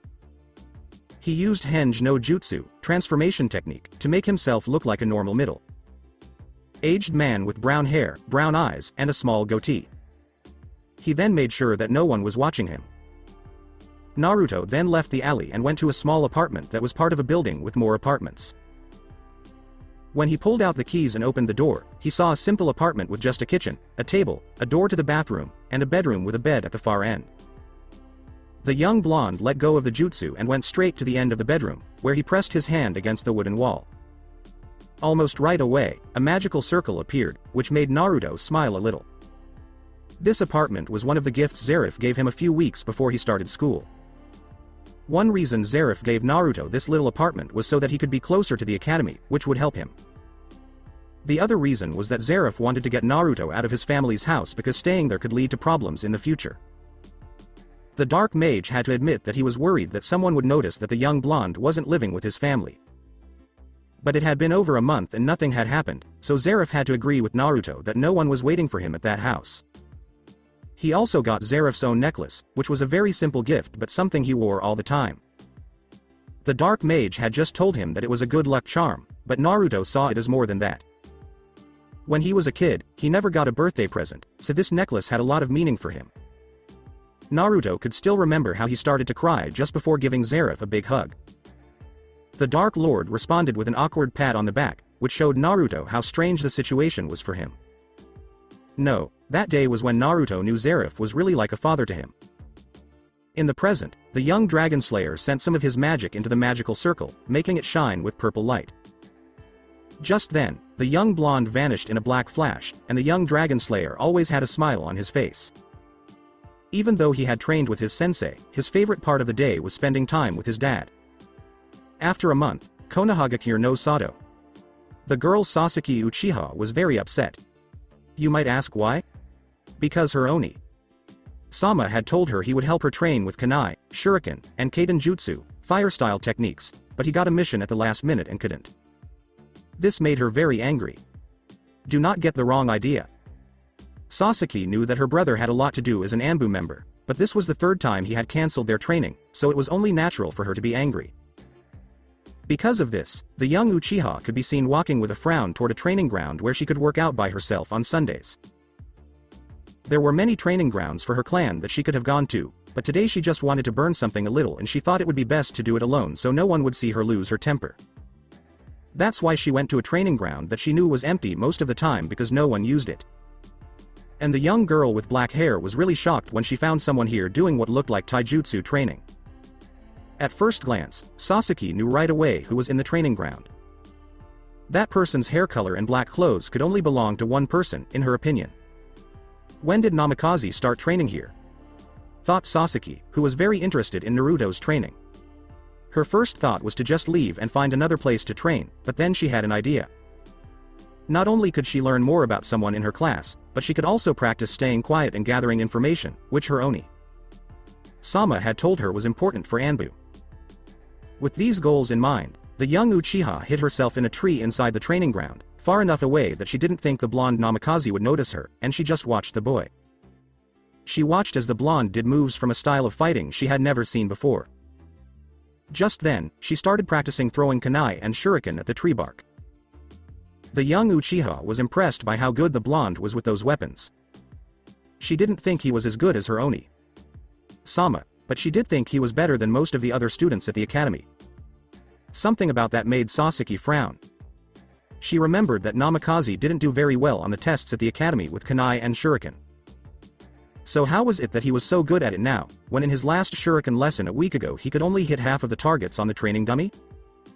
Sasuke became more and more interested in the blonde boy as time went on. Naruto went to the middle of the training ground and started meditating after practicing with normal ninja tools for a few minutes. This confused Sasaki a lot because she knew how to meditate, but she didn't know that someone her age already knew how to do it. She was about to leave for her house to think about who Uzumaki. Namikaze Naruto was and maybe even ask Mito about it since she was his sister when she heard a calm, monotonous voice stop her in her tracks. Spying is rude, you know? He said this, which made young Uchiha turn around and see that Zeref's young apprentice was still in the middle of the training ground, but his eyes were open and were looking right at where she was hiding. This made Sasaki's eyes wide with surprise. She thought she had hidden herself perfectly, so how did Namikaze find her? At that point, the young Uchiha girl could either run away and act like nothing happened, or she could talk to the blonde Uzumaki. Namikaze boy and try to find out what was going on. She made up her mind in less than a second. Naruto looked straight at Sasaki from the moment she climbed down the tree until she was right in front of him. Her arms were crossed over her chest, and she still had a scowl on her face. What do you want, Uchiha? Naruto asked in the same voice as before, standing up and looking straight at Sasaki with a bored look that made Sasaki a little mad. Sasaki asked, What were you doing? Not answering Naruto's question at all, which made Naruto raise an eyebrow in interest before answering. Training. And since when were you so good at throwing things? Sasaki asked roughly, eager to find out the truth quickly. Naruto told Uchiha, that's none of your business. You should just leave already. He was mad at Sasaki, but he didn't show it. The young Uchiha was getting antsy. She wanted to know how strong this guy really was since the skills he showed in the academy were obviously fake. After all, no one gets that good in just a week, so she came to the conclusion that he was hiding his real skills for some reason, but why? She was going to find out, though, and after a moment of thought, she came up with a way to test her theory. Naruto was given a mean look as Sasuke said, fight me. The blonde only raised an eyebrow at this. Excuse me? She said, You heard me, fight me, and her voice got stronger. Her plan was pretty simple. She was going to fight him and see how strong he was to see if he was really holding back at the academy. After all, the students had already been spared once, and if she remembered correctly, Naruto hadn't done a great job when they fought Kiba Inuzuka. Though Naruto was about to say no, a thought stopped the blonde in his tracks. Sasuke was waiting for an answer. Naruto thought, this might be a good chance to see just how strong I am. He wanted to test himself against someone other than Zeref, since sparring with him always ends with Zeref being calm and Naruto being beaten. He couldn't show off how strong he really was at the academy because his sensei told him not to draw attention to himself or act too good or too bad. This meant that he had to control his skills and act like any other student, not too good or too bad. When Naruto asked Zeref why he had to do this, he told him that control is a tool that must always be used and that deception is a ninja's most powerful weapon. Naruto had no choice but to accept this and control himself at the academy, which gave him a chance to finally put himself to the test. Okay, said the young blonde, who made the Uchiha look surprised.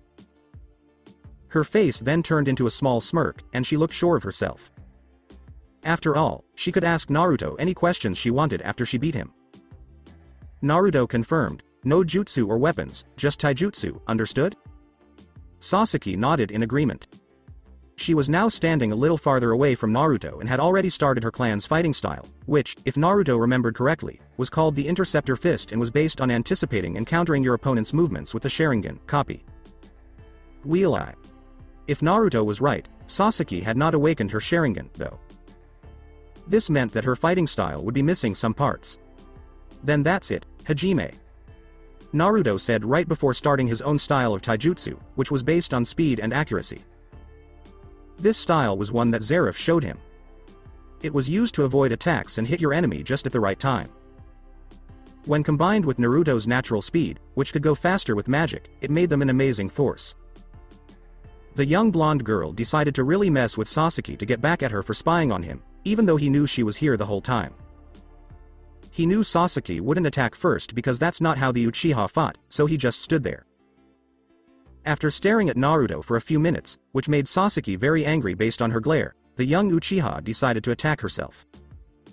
The stupid blonde wasn't going to move, so she ran at him at what Naruto thought was probably Genin. Like speed, which surprised him since they were just starting the academy. Even so, Naruto thought she was moving really slowly, so when Sasaki finally caught up to her, she aimed a right fist at him. This made Sasaki growl and try her luck with another punch. This time, Naruto grabbed Sasaki's wrist so hard that the Uchiha girl couldn't get free, so she went for another fist, but the young apprentice of Zeref grabbed her other wrist too. Before she could do anything, Sasaki pushed him away, and he jumped backwards to make more space between them. It went on like this for a little more than 10 minutes. Every time Satsuki tried to hit Naruto, the young blonde would either dodge or block, never attacking, even though he had several chances to do so. This made Satsuki more and more angry. The young blonde decided to end it after 15 minutes of sparring, so when Sasaki threw her another punch, he grabbed her wrist and quickly twisted her arm behind her back so she couldn't see.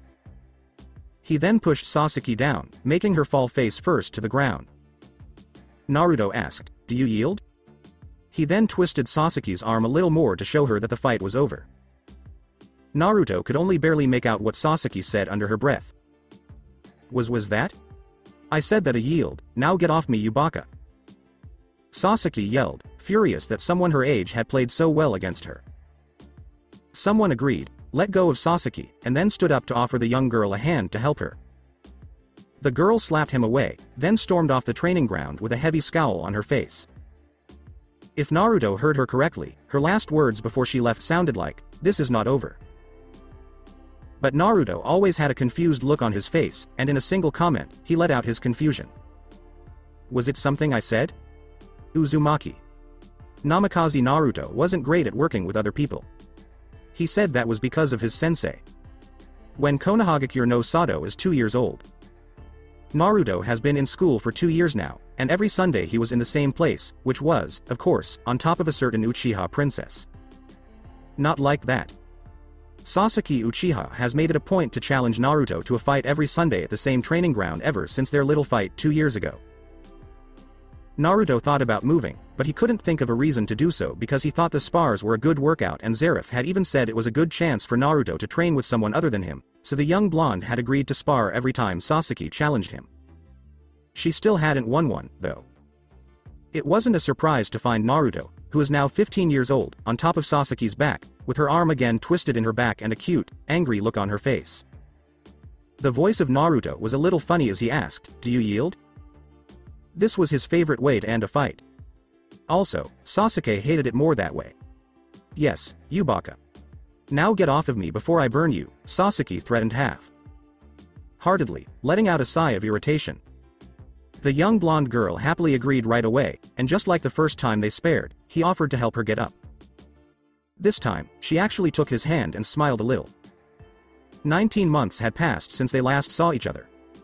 In Zeref's case, for example, the apprentice had completely changed his outfit. He now wears a black shirt without sleeves under a black jacket with white lining around the edges. The jacket has long sleeves and is buttoned at the top, so you can see his black shirt. On the back of that jacket, there was the same symbol as on his old clothes, a silver dragon's head. He wore black Anbu pants and a pair of black ninja sandals. His kunai was held in his right leg. He also wears black gloves without fingers and wears the necklace Zeref gave him over his jacket and around his neck with pride. Not only did his clothes change, but so did his golden blonde hair, which was now tamed and reached his shoulders. Also, a year ago, his whisker marks began to fade. He began training in Yami no Maho, Darkness Magic, the same day. It was a year ago when Zeref's training place. After getting a nod from the Dark Mage, Naruto asked his father figure, seriously? He was both excited and nervous. Zeref confirmed, yes Naruto. Kun, today we'll start your training in Yami no Maho, Darkness Magic. Naruto was excited to finally learn the magic that his sensei uses, but he quickly put on a serious face when he saw that Zeref was even more serious than usual, which meant that whatever he was going to say was very important. First, I'm going to explain exactly what you're going to learn, Naruto. Kun. What I'm going to teach you is Yami no Maho, darkness magic, in its purest form. That is, Naruto. Kun, you're going to learn how to use the darkness in your heart to its fullest, Zeref said.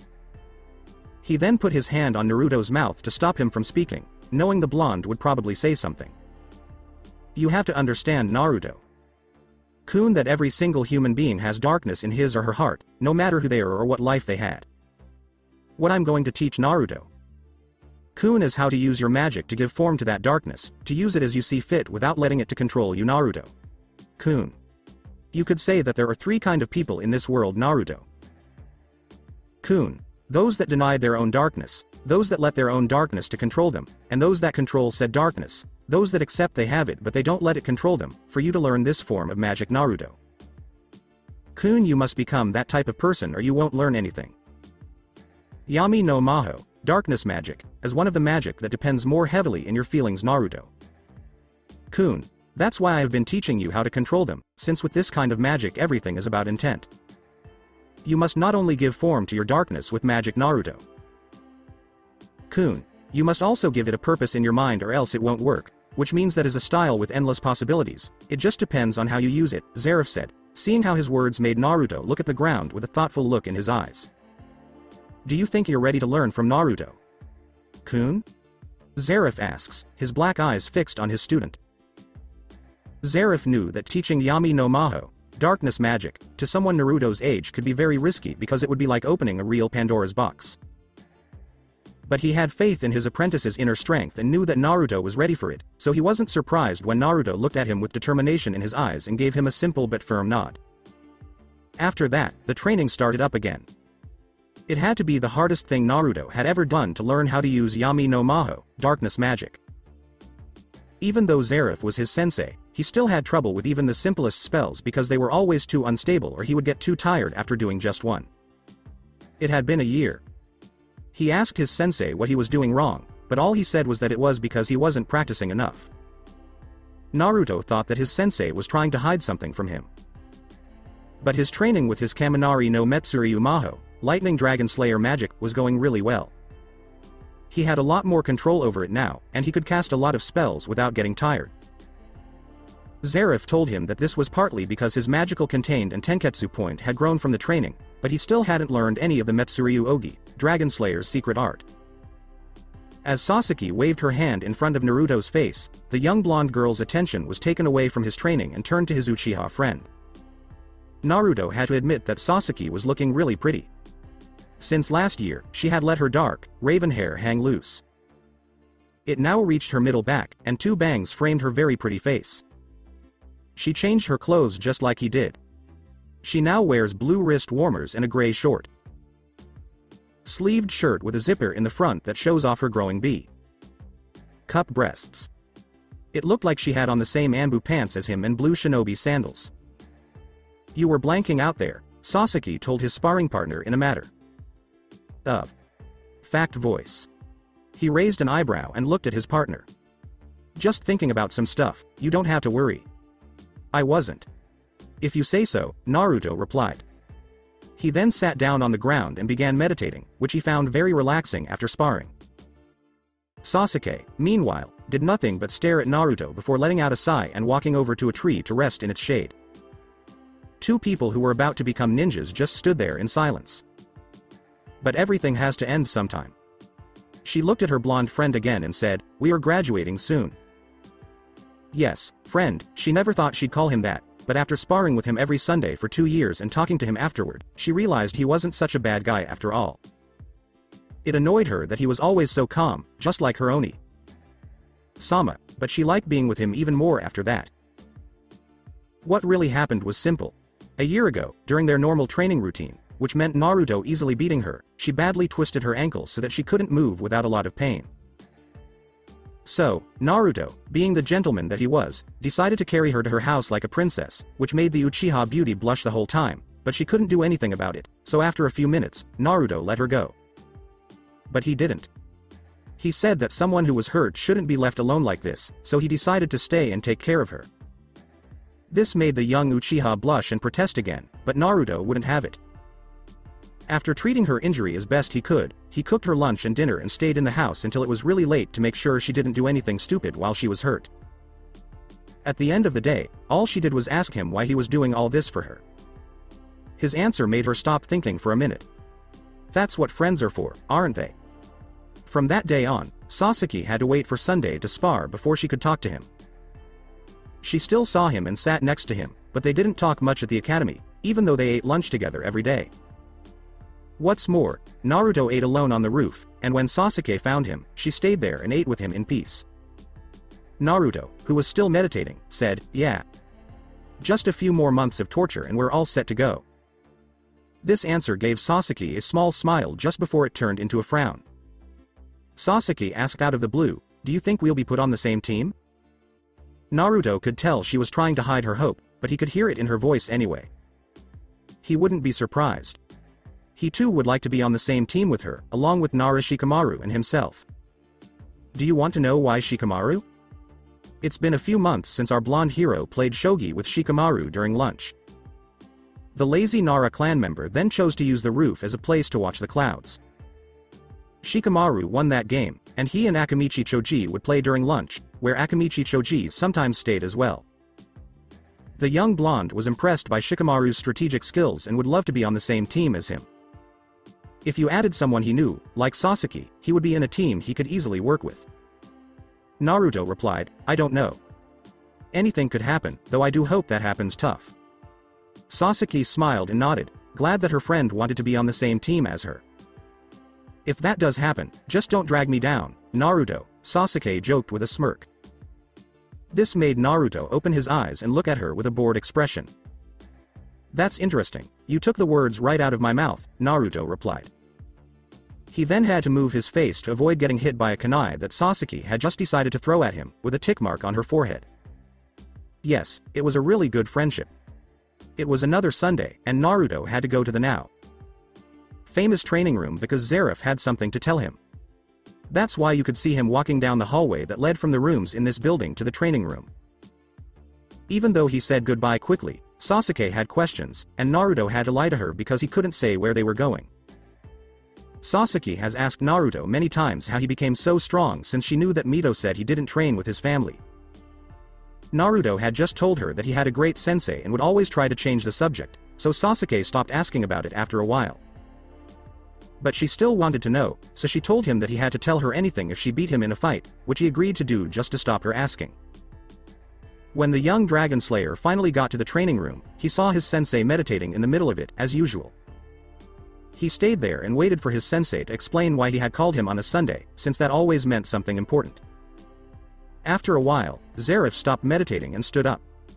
He looked at Naruto with his usual emotionless gaze before speaking. Zeref told his student, Today Naruto.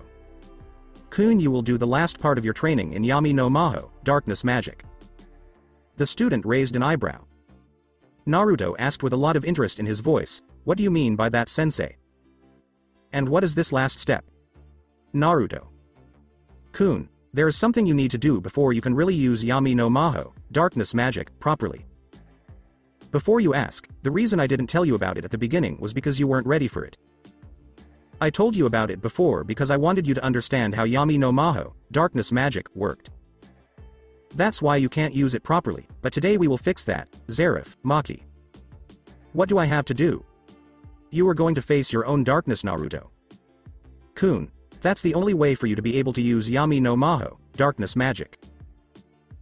Naruto asked, what do you mean by that? He didn't understand what, facing your darkness, meant. Once we start, you'll understand, but this is a test you have to do on your own, and I can't promise your safety, Naruto. Kun, so I have to ask, are you sure you're ready to take this step?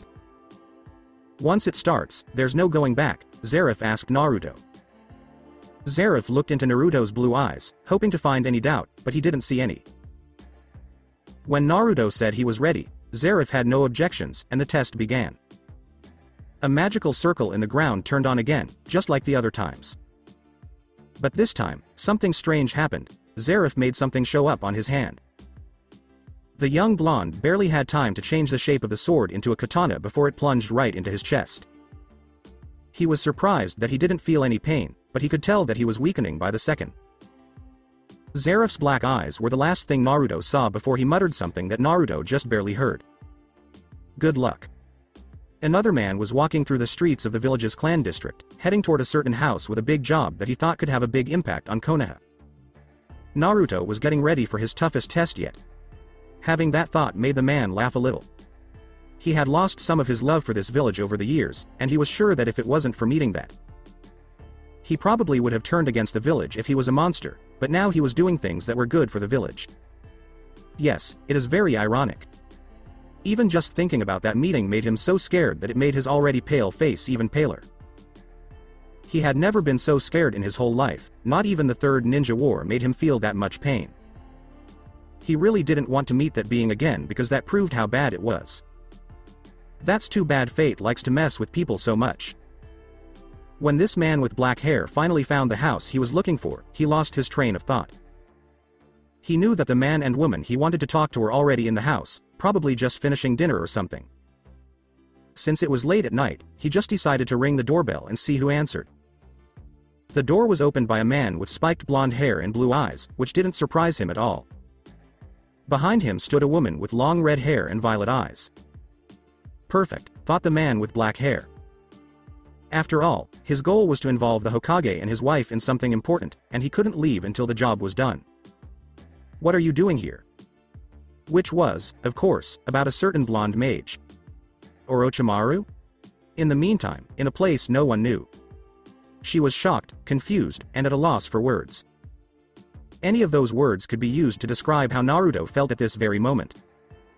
It was a very simple reason. It wasn't that he was in a strange stadium in Kami knows where. It was the person standing in front of him with a twisted grin on their face. Why did this person make Naruto feel this way? That was because this guy was so much like Naruto that it was impossible to tell them apart. The only thing that made him different from Naruto was that his clothes were the exact opposite color and his eyes were bright yellow instead of blue. One more thing about this guy was that Naruto could feel only bad intentions coming from him. The man who looked like Naruto asked, so the little weakling finally decided to show up, huh? This made the blonde look at him with a mean face. Who are you? Naruto asked with a sharp tone because he could feel trouble coming from this person. Me? asked the boy with yellow eyes. Then a black aura appeared around him, which made Naruto's eyes go wide. Then he heard words he couldn't believe. The guy said, I don't know who you can't recognize me, after all. As his grin got even bigger. I am you, said the strange person who looked like Naruto. Then they ran at Naruto so fast that the blonde had a hard time keeping up. The test had just started. Stadium in a place no one knows about. Naruto Uzumaki. Namikaze was upset and confused at the moment. The first thing his sensei did was stab him with a sword. It didn't hurt, but he thought it was wrong. The next morning, he woke up in a strange stadium that looked exactly like Konoha's, but the seats were filled with strange black humanoid things instead of people.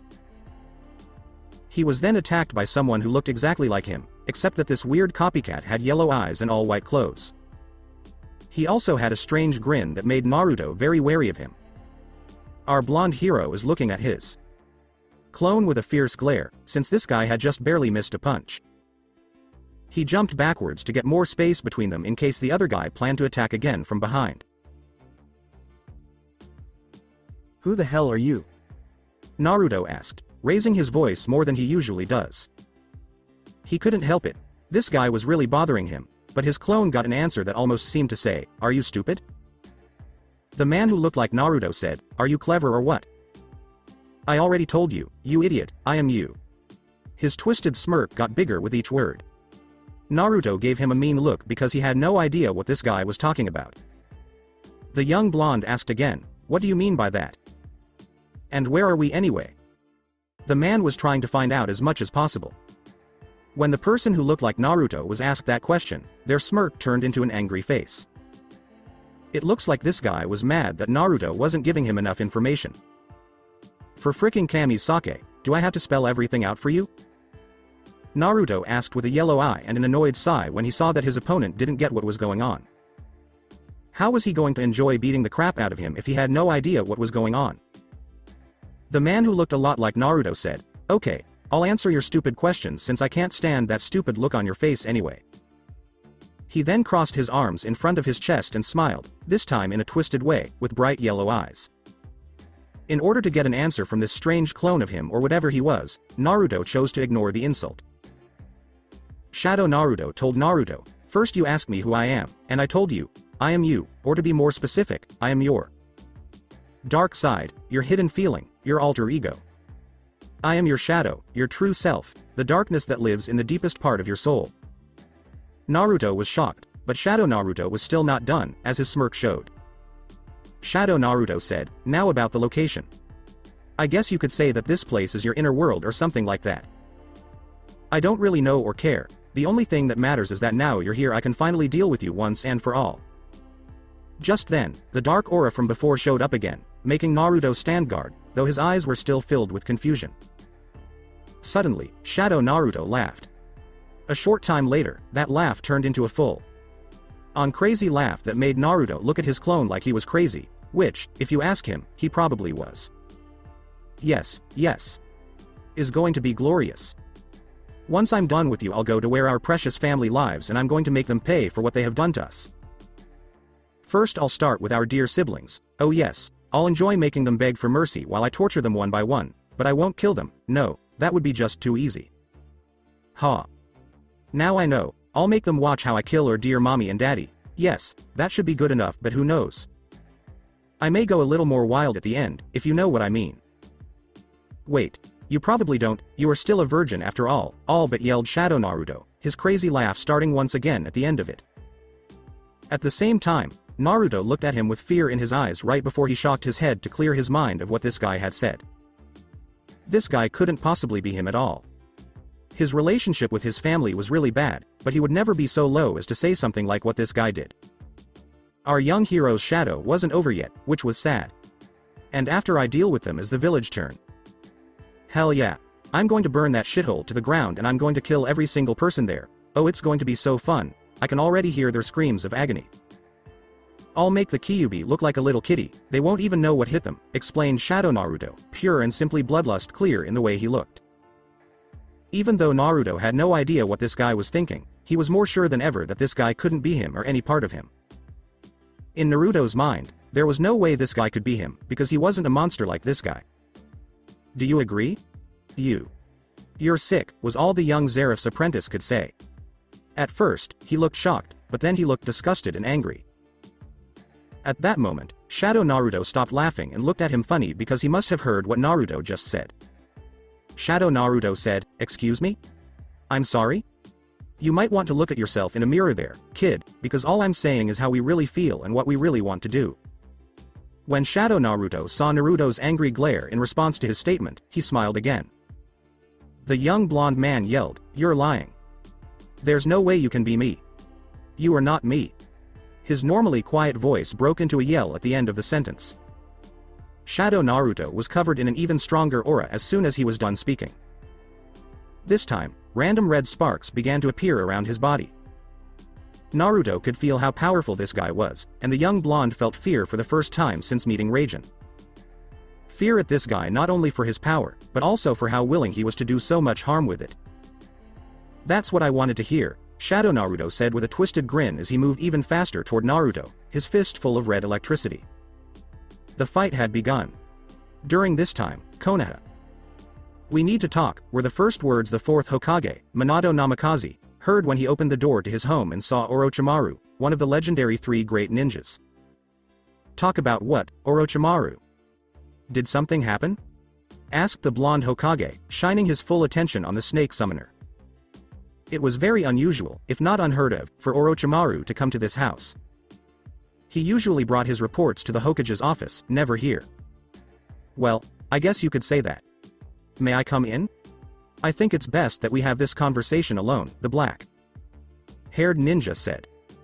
His usual creepy smile was gone, and his face was serious, which made Minato and Kushina, who was standing behind her husband, laugh at the snake summoner. It was only, sure, that Minato said before leading Orochimaru to the living room. Orochimaru sat down in one of the chairs around the coffee table, while the hero of the Third Shinobi War sat on the couch nearby. Kushina spoke for the first time since Orochimaru came into her house. Would you like some tea, Orochimaru? San? She asked. But Orochimaru just shook his head and answered, no. That's not necessary, but I'd appreciate it if you could stay to hear what I have to say. It's important for both of you, Orochimaru quickly replied, his eyes on both the Hokage and his wife. If what he thought would happen was true, this was going to be an interesting conversation. He wasn't sure how they would react to what he was going to say. Both Minato and Kushina looked suspicious when she said that, but neither of them said anything. The Read. Head Junin sat on the couch with her husband, waiting to hear whatever news Orochimaru had to share with them right away. So, what's the problem, Orochimaru? It's about the job I gave you at the academy, right? Minato asked, thinking of something different that could have brought the snake summoner here since he had never done that before. People who knew Orochimaru well said that the man had a slightly cruel side that went well with his desire to learn. For those people, it wasn't a surprise that he was the head of Konoha's torture and interrogation division. But only the Hokage, his wife, and a few other people knew that Orochimaru was supposed to keep an eye on the new students and see how they did. The simple reason Minato gave Orochimaru the job was that he thought Orochimaru knew more about human psychology than anyone else in the village. This made him very good at his job at the T&I division. So, Minato gave Orochimaru the job of watching how the academy students grew so that he could put together the best teams by the time the students graduated and so that Orochimaru could find out which students. After a year on the job, Orochimaru told Minato that the way teams were set up should be changed so that Konoha teams would have 4 Genins and 2 Junins instead of 3. Genin teams with 1 Junin. Some people on the council said that system would use too many of the village's Jonin, but Minato went with it because he had no reason to doubt Orochimaru. He was glad he did, because the new system worked even better than the old one because it let the Jonin focus more on their Genin and teach them a wider range of things, and it also made it much more likely for teams to survive. Yes it is. I don't want to waste anyone's time, so I'll get right to the point Minato. How good is your relationship with your son? Orochimaru asked both Minato and Kushina, making one of them frown and the other look like she was thinking about something else. Kushina was worried about her son and asked, Why are you asking this? Did something happen to Menma? Kun? She was worried about what might have happened to her son and was even more worried that her son hadn't told her or his father about it. Orochimaru told Kushina, calm down, nothing happened to Menma. Kun at all. He's actually in the top of his class, though he could do better on the written part if you ask me. This made both parents sigh with relief, even though the black haired snake summoner was now even busier, since he knew they had only asked for one of their sons.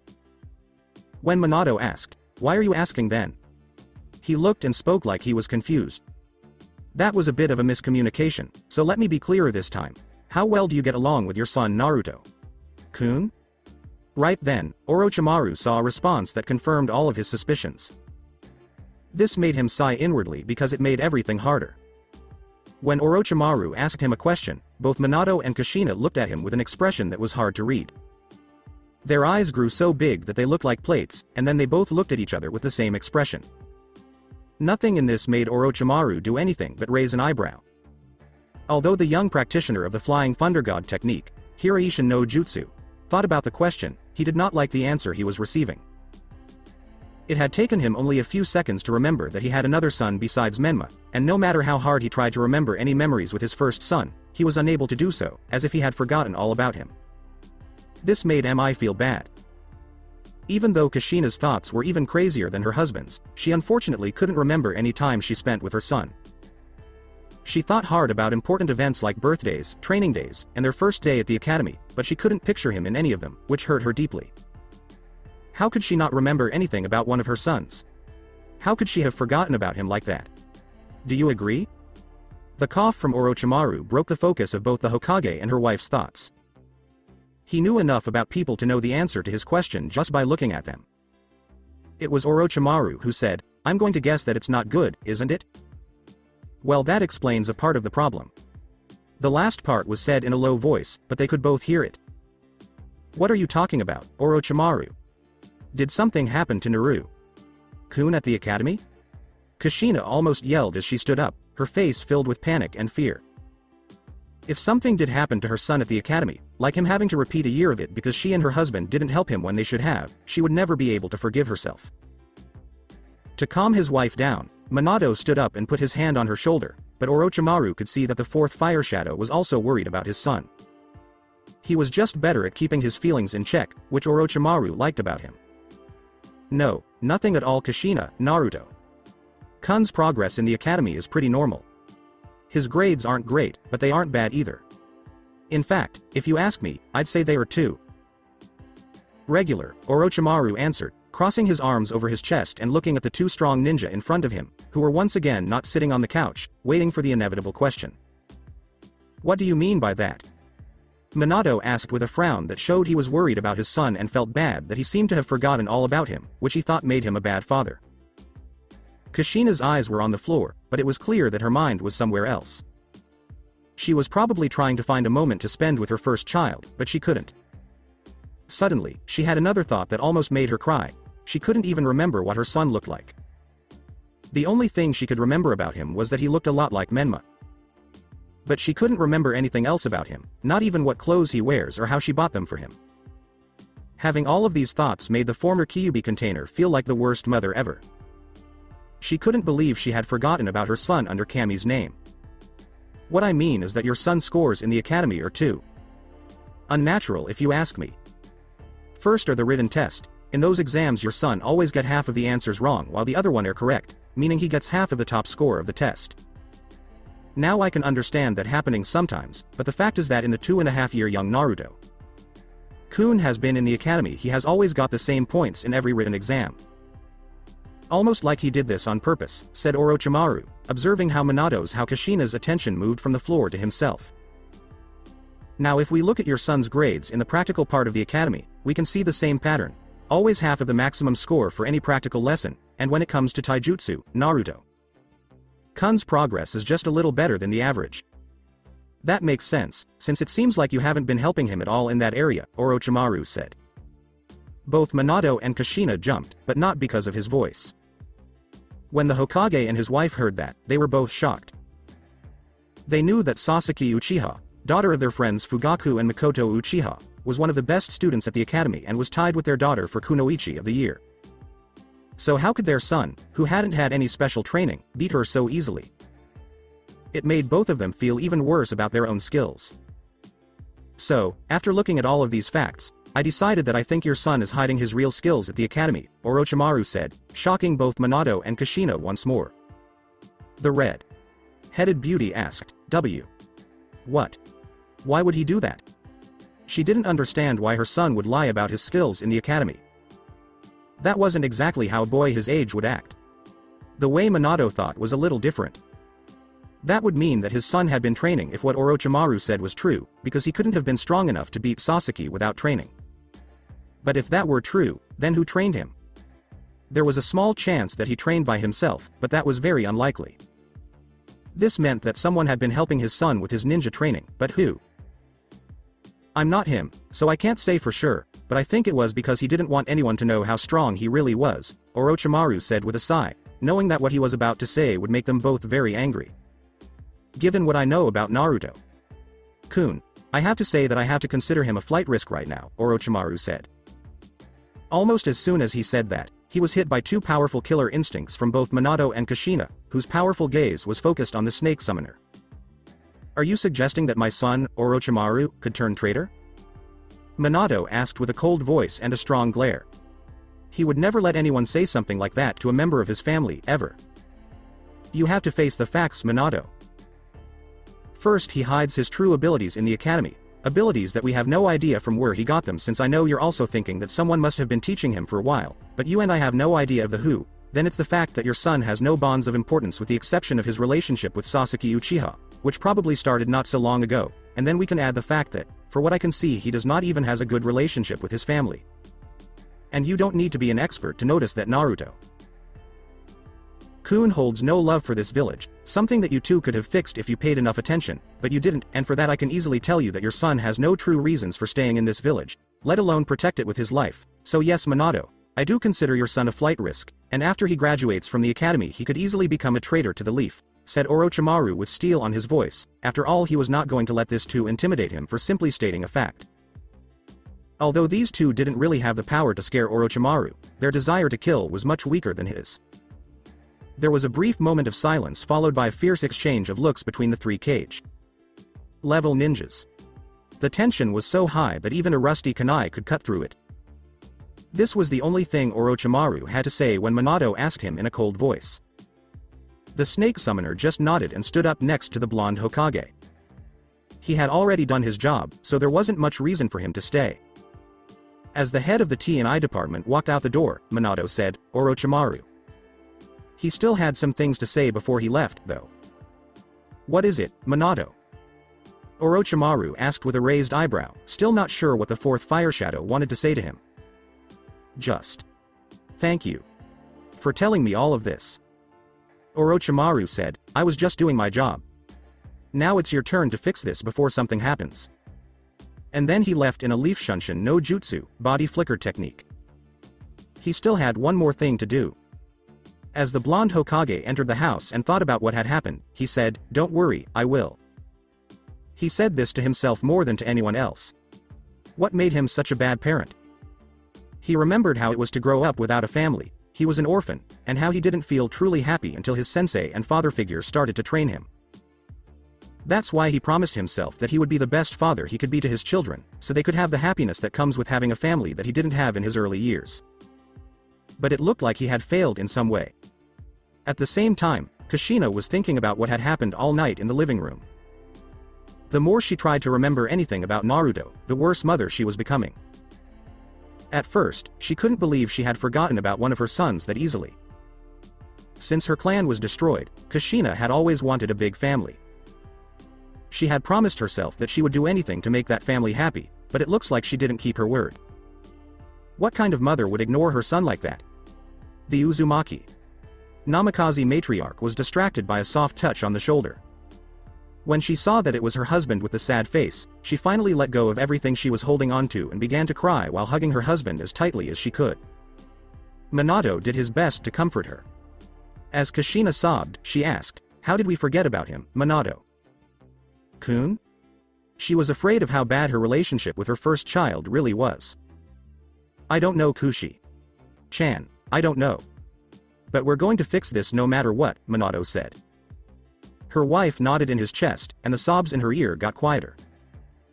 At that moment, they both promised themselves that they would find a way to get back in touch with their son, no matter how hard it might be. That promise would last forever. At the same time, Orochimaru. The powerful snake summoner showed up in his personal office, which was a small room with just a wooden desk, a chair, and a bookcase full of snake. Themed books. There were some torches lighting the room up. You could find his secret lab here. Only he, the Hokage, and a few other people, like his teammates, knew about it. It was here that Orochimaru usually did his experiments. Of course, he couldn't use regular people as test subjects unless they were prisoners or someone else the Hokage gave his permission, and even then, only if Orochimaru was sure the procedure wouldn't kill the person. He had to tell his pregnant teammate how much he appreciated her one of these days. She had really helped raise the patient's chances of survival. On top of his desk, Orochimaru had some papers lying around. He sat down and began to think about things that happened in the past. Yes, he could remember times when he would have easily kidnapped a civilian or ninja and experimented on him. If anyone had found out, he would have just left the village, since he didn't really care about it, but as soon as he met him, all of those thoughts and plans went out the window. He was still scared when he thought about the day he met that monster. The only thing Orochimaru wanted more than learning all the secrets of the world was to never have to face that monster again.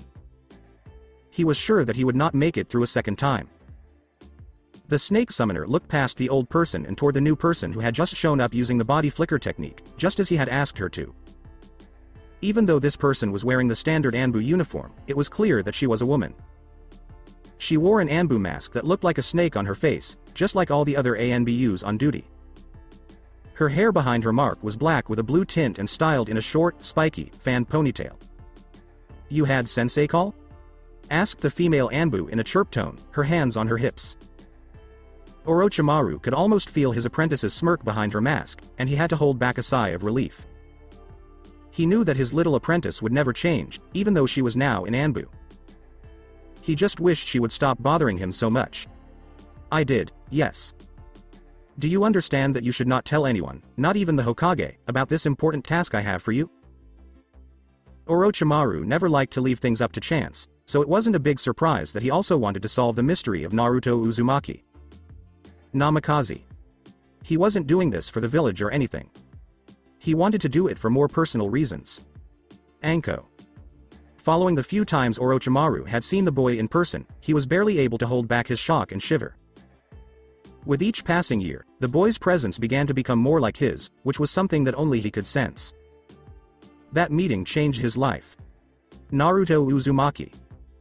Namikaze's life was about to get more difficult, and there was nothing he could do about it. In the meantime, in the training room. If you looked closely, you could see Zeref sitting on the ground, his full attention on his apprentice's slumped body. The powerful dark mage knew what his apprentice was going through and thought it must be one of the hardest things anyone could ever go through. After all, facing your own inner demons and accepting them as part of you is something that almost no one can do. This is why so many mages in his world lost themselves when they started to use any kind of Yami no Maho, darkness magic. There were some who were able to control their own darkness, but they were wasting the real power of this type of magic by doing that. If you asked Zeref what the best way was to become a master of Yami no Maho, darkness magic, he would say this one. Some parts of him did wonder if he had done the same thing or if he had put his only student in a death trap, but he quickly pushed those thoughts aside because he had full faith in his student and knew that if anyone could handle this challenge and succeed, it was his student. There was a strong presence that filled the room after a few more minutes of just staring at his apprentice. If Naruto had seen his sensei at that moment, he would have been shocked. His sensei's normally emotional face turned into a powerful glare when he felt the presence. I asked Alcor, what are you doing here? Zeref asked out of the blue. His voice had a danger tone that almost no one in this world has ever heard, and for a split second, you could see his normally black eyes flash red. Is that how you treat a friend, Zeref? Kun? Asked a smooth voice that seemed to reverberate throughout the room. But Zeref's attention was drawn to a corner of the training room where a figure began to emerge from the shadows. In this picture, there was a figure that looked like a male teenager, probably between the ages of 17 and 18. This person has very pale skin, curly white hair, and squinted eyes that made him look sleepy. He wears a red and black striped shirt with a frilled undershirt, black pants, and shoes that match. We're not that Alcor. Now tell me, what brought you here? What are you doing? Zeref asked, aiming a strong glare at the man with the mane named Alcor. The man's smile didn't change at all. In fact, it seemed to get bigger. That hostile tone of yours really hurts me, but I guess I can't do anything about it now, can I? Asked the man with white hair, ignoring Zeref's question with a smile. As Zeref revealed Alcor's identity, he asked, What does your master want this time, servant of the Shinigami? But the man didn't seem to care and instead began walking toward Zeref with a smile still on his face. I think the answer to that question is pretty clear, don't you think? Alcor asked, pointing to Naruto's sleeping form with his eyes. But as soon as he did that, a dark lord with angry red eyes and a brighter glare grabbed him and choked him. When Zeref started training Naruto, he became more angry and said, If you ever put a finger on him, Alcor, I'll kill you. He had never trusted this man, just like he had never trusted this man's master. Since the Shinigami brought him into the world, he had never felt thankful for what he did because he knew the Shinigami had done it for his own reasons and not out of any kindness. He won't let any of them touch his apprentice, not even if it means fighting a god. Zeref was putting a lot of pressure on Alcor's neck, but the man with white hair kept smiling as if nothing was wrong. Then, as if by magic, Alcor disappeared from Zeref's grasp and reappeared behind him, hand on his mouth as if he was trying not to laugh. While Zeref stared at the Shinigami servant with white hair, Alcor said, I'm sure you will Zeref. Kun, but don't worry about that. My master just told me to come here and take a look after all. Zeref's gaze was still on our blonde hero, who was standing still. I see that you used the gift that my master gave you, Alcor said after a short pause, as if it were true. When Zeref heard about the Shinigami's gift, he looked at the back of his right hand. As he did, a symbol appeared there. The only thing this black symbol showed was the kanji for death. To the untrained eye, it looked like a tattoo. But Zeref knew it wasn't a tattoo because it was one of the two gifts the Shinigami gave him when he was born. The mark on his right hand was one of those gifts. The mark served two purposes. The first was to let the Shinigami, and by extension Alcor, know where Zeref was at all times.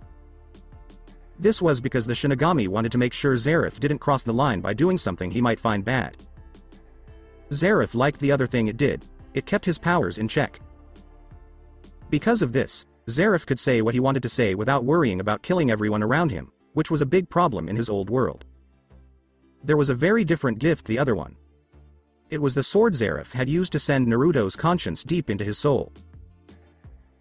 Zeref could do many things with the souls of both living and dead people with that sword, but the Dark Lord only used it in very specific situations because he didn't want to use something that the Shinigami had given him, and Zeref had only been able to meet the conditions to use its most powerful power twice in his lifetime in the elemental nations.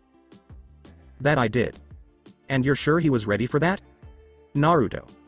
Kun is still young after all. I have complete trust in my apprentice Alcor. I don't need you doubting that. He looked at Naruto with great focus, as if he were the answer to a puzzle he was trying to solve. I see. he said, ending the conversation. Finally, after a few more seconds of intense staring, or glaring at Zeref, Alcor let out a small laugh and then walked back to one of the corners of the training room. When he got there, he did nothing but stare at Zeref again, smiling as he did so. Zeref said in a threatening voice, I'm really excited to see how far Naruto. Kun goes with someone like you teaching him Zeref. Kun. Just make sure you don't fail him as a teacher, after all he's one of the few interesting humans that exist, it would be a shame for him to not be able to face what's coming. Zeref then disappeared, as if he had never been there. The Dark Lord Zeref just let out a sigh when he heard that. His eyes went back to being black, and he looked at his student again as he paced. He thought about why the Shinigami was so interested in Naruto, but in the end it didn't matter because him and the gods were dealing with other things. But he was sure of one thing, his apprentice would go through a lot of hard times. And just like he told him the first time they met, he would help him in any way he could, even if it meant facing the Shinigami or another god. Yes, Zeref would show them how powerful the most powerful dark mage ever was if it meant helping Naruto in any way. After all, Naruto was his only family. And just like Mavis said she would give her life to protect her family, Zeref would do the same, even if it meant giving up his own soul. In the meantime, in the training room, you could see Zeref sitting on the ground right now if you looked hard enough. He was looking at his apprentice's past. Out body with all of his attention. The strong dark mage knew what his apprentice was going through, and he thought it must be one of the hardest things anyone could ever go through. After all, facing your own inner demons and accepting them as part of you is something that almost no one can do. This is why so many mages in his world lost themselves when they started to use any kind of Yami no Maho, darkness magic. There were some who were able to control their own darkness, but they were wasting the real power of this type of magic by doing that. If you asked Zeref what the best way was to become a master of Yami no Maho, darkness magic, he would say this one. Some parts of him did wonder if he had done the same thing or if he had put his only student in a death trap, but he quickly pushed those thoughts aside because he had full faith in his student and knew that if anyone could handle this challenge and succeed, it was his student. There was a strong presence that filled the room after a few more minutes of just staring at his apprentice. If Naruto had seen his sensei at that moment, he would have been shocked. His sensei's normally emotional face turned into a powerful glare when he felt the presence. What are you doing here, Alcor? Zeref asked out of the blue. His voice had a threatening tone that almost no one in this world has ever heard, and for a split second, you could see his normally black eyes flash red. Is that how you treat a friend, Zeref? Kun? Asked a smooth voice that seemed to reverberate through the room. Zeref turned his attention to a corner of the training room where a figure began to emerge from the shadows. There was no doubt that this person was a teenager, a boy, probably between the ages of 17 and 18. The person in question has very light, curly white hair. He looked sleepy because his eyes were squinting, and the makeup and eyelashes around his eyes are white. He wears a striped red and black shirt under a frilled black shirt, shoes that match, and black pants. We're not that Alcor. Now tell me, what did you come here to do? Zeref asked, glaring hard at the man with the mane called Alcor. The man's smile didn't change at all. In fact, it looked like it got bigger. That anger of yours really hurt me, but I guess I can't do anything about it now, can I? The white haired man asked Zeref with a smile, ignoring his question. Shield. Servant, what does your master want this time? As Zeref asked, he revealed that the man was Alcor. Of course, this didn't change the man's mind. He just walked closer to Zeref with a smile on his face. Do you agree that the answer to that question is pretty clear? Alcor said, pointing to Naruto's sleeping form with his eyes. But as soon as he did that, he felt a hand around his neck from a dark lord with angry red eyes and a brighter glare. Hest Zeref, showing more emotion than usual. Ever since he started training Naruto, he had never trusted this man, and he had never trusted this man's master either. He had never felt thankful to the Shinigami for bringing him into the world, because he knew that the Shinigami had done it for his own reasons and not out of kindness. If he did feel grateful, it would be for the wrong reasons. He won't let any of them touch his apprentice, not even if it means fighting a god. The white haired man kept smiling even though Zeref was putting a lot of pressure on his neck, as if nothing was happening. Then, as if by magic, Alcor disappeared from Zeref's grasp and reappeared behind him, hand on his mouth because he was trying not to laugh. While Zeref stared at the Shinigami servant with white hair, Alcor said, I'm sure you will Zeref. Kun, but don't worry about that. My master just told me to come here and take a look after all. Zeref's gaze was still on our blonde hero, who was standing still. I see that you used the gift that my master gave you, Alcor said after a short pause, as if it were true. When the Shinigami's gift was mentioned, Zeref looked at the back of his right hand and a black kanji character for death appeared there. To someone else, it might have looked like a tattoo, but Zeref knew it wasn't because it was one of the two gifts the Shinigami gave him when he was born. The mark on his right hand was one of those gifts. It served two purposes. The first was to let the Shinigami, and by extension Alcor, know where he was at all times. This was because the Shinigami wanted to make sure Zeref didn't cross the line by doing anything he might consider problematic. The second purpose was something Zeref liked, it kept his powers in check. This let Zeref say what he really wanted to say. The other gift was very different. It was the sword Zeref had used to send Naruto's conscience deep into his soul. That sword had many powers over the souls of both living and dead people, but the Dark Lord only used it in very specific situations because he didn't want to use something the Shinigami had given him, and the only way to use its strongest power was to S. That I did. Are you sure he was ready for that? After all, Naruto. Kun is still young. I have complete trust in my apprentice Alcor. I don't need you doubting that. I see. Said the white haired man leaving Naruto to sleep while staring at him with great concentration, as if he were the key to a puzzle he was trying to solve. After a few more seconds of intense staring, or glaring in Zeref's case, Alcor let out a small laugh and walked back to a corner of the training room, where he stared at Zeref again, greeting his harsh glare with a smile. I'm really excited to see how far Naruto. Kun goes after you teach him Zeref. Kun. Just don't fail him as a teacher. He's one of the few interesting people in the world, and it would be a shame for him to not be able to handle what's coming, Zeref said in a threatening tone before disappearing, as if he had never been there. When Zeref, the Dark Lord, heard that, he let out a sigh and turned his eyes back to their normal black color.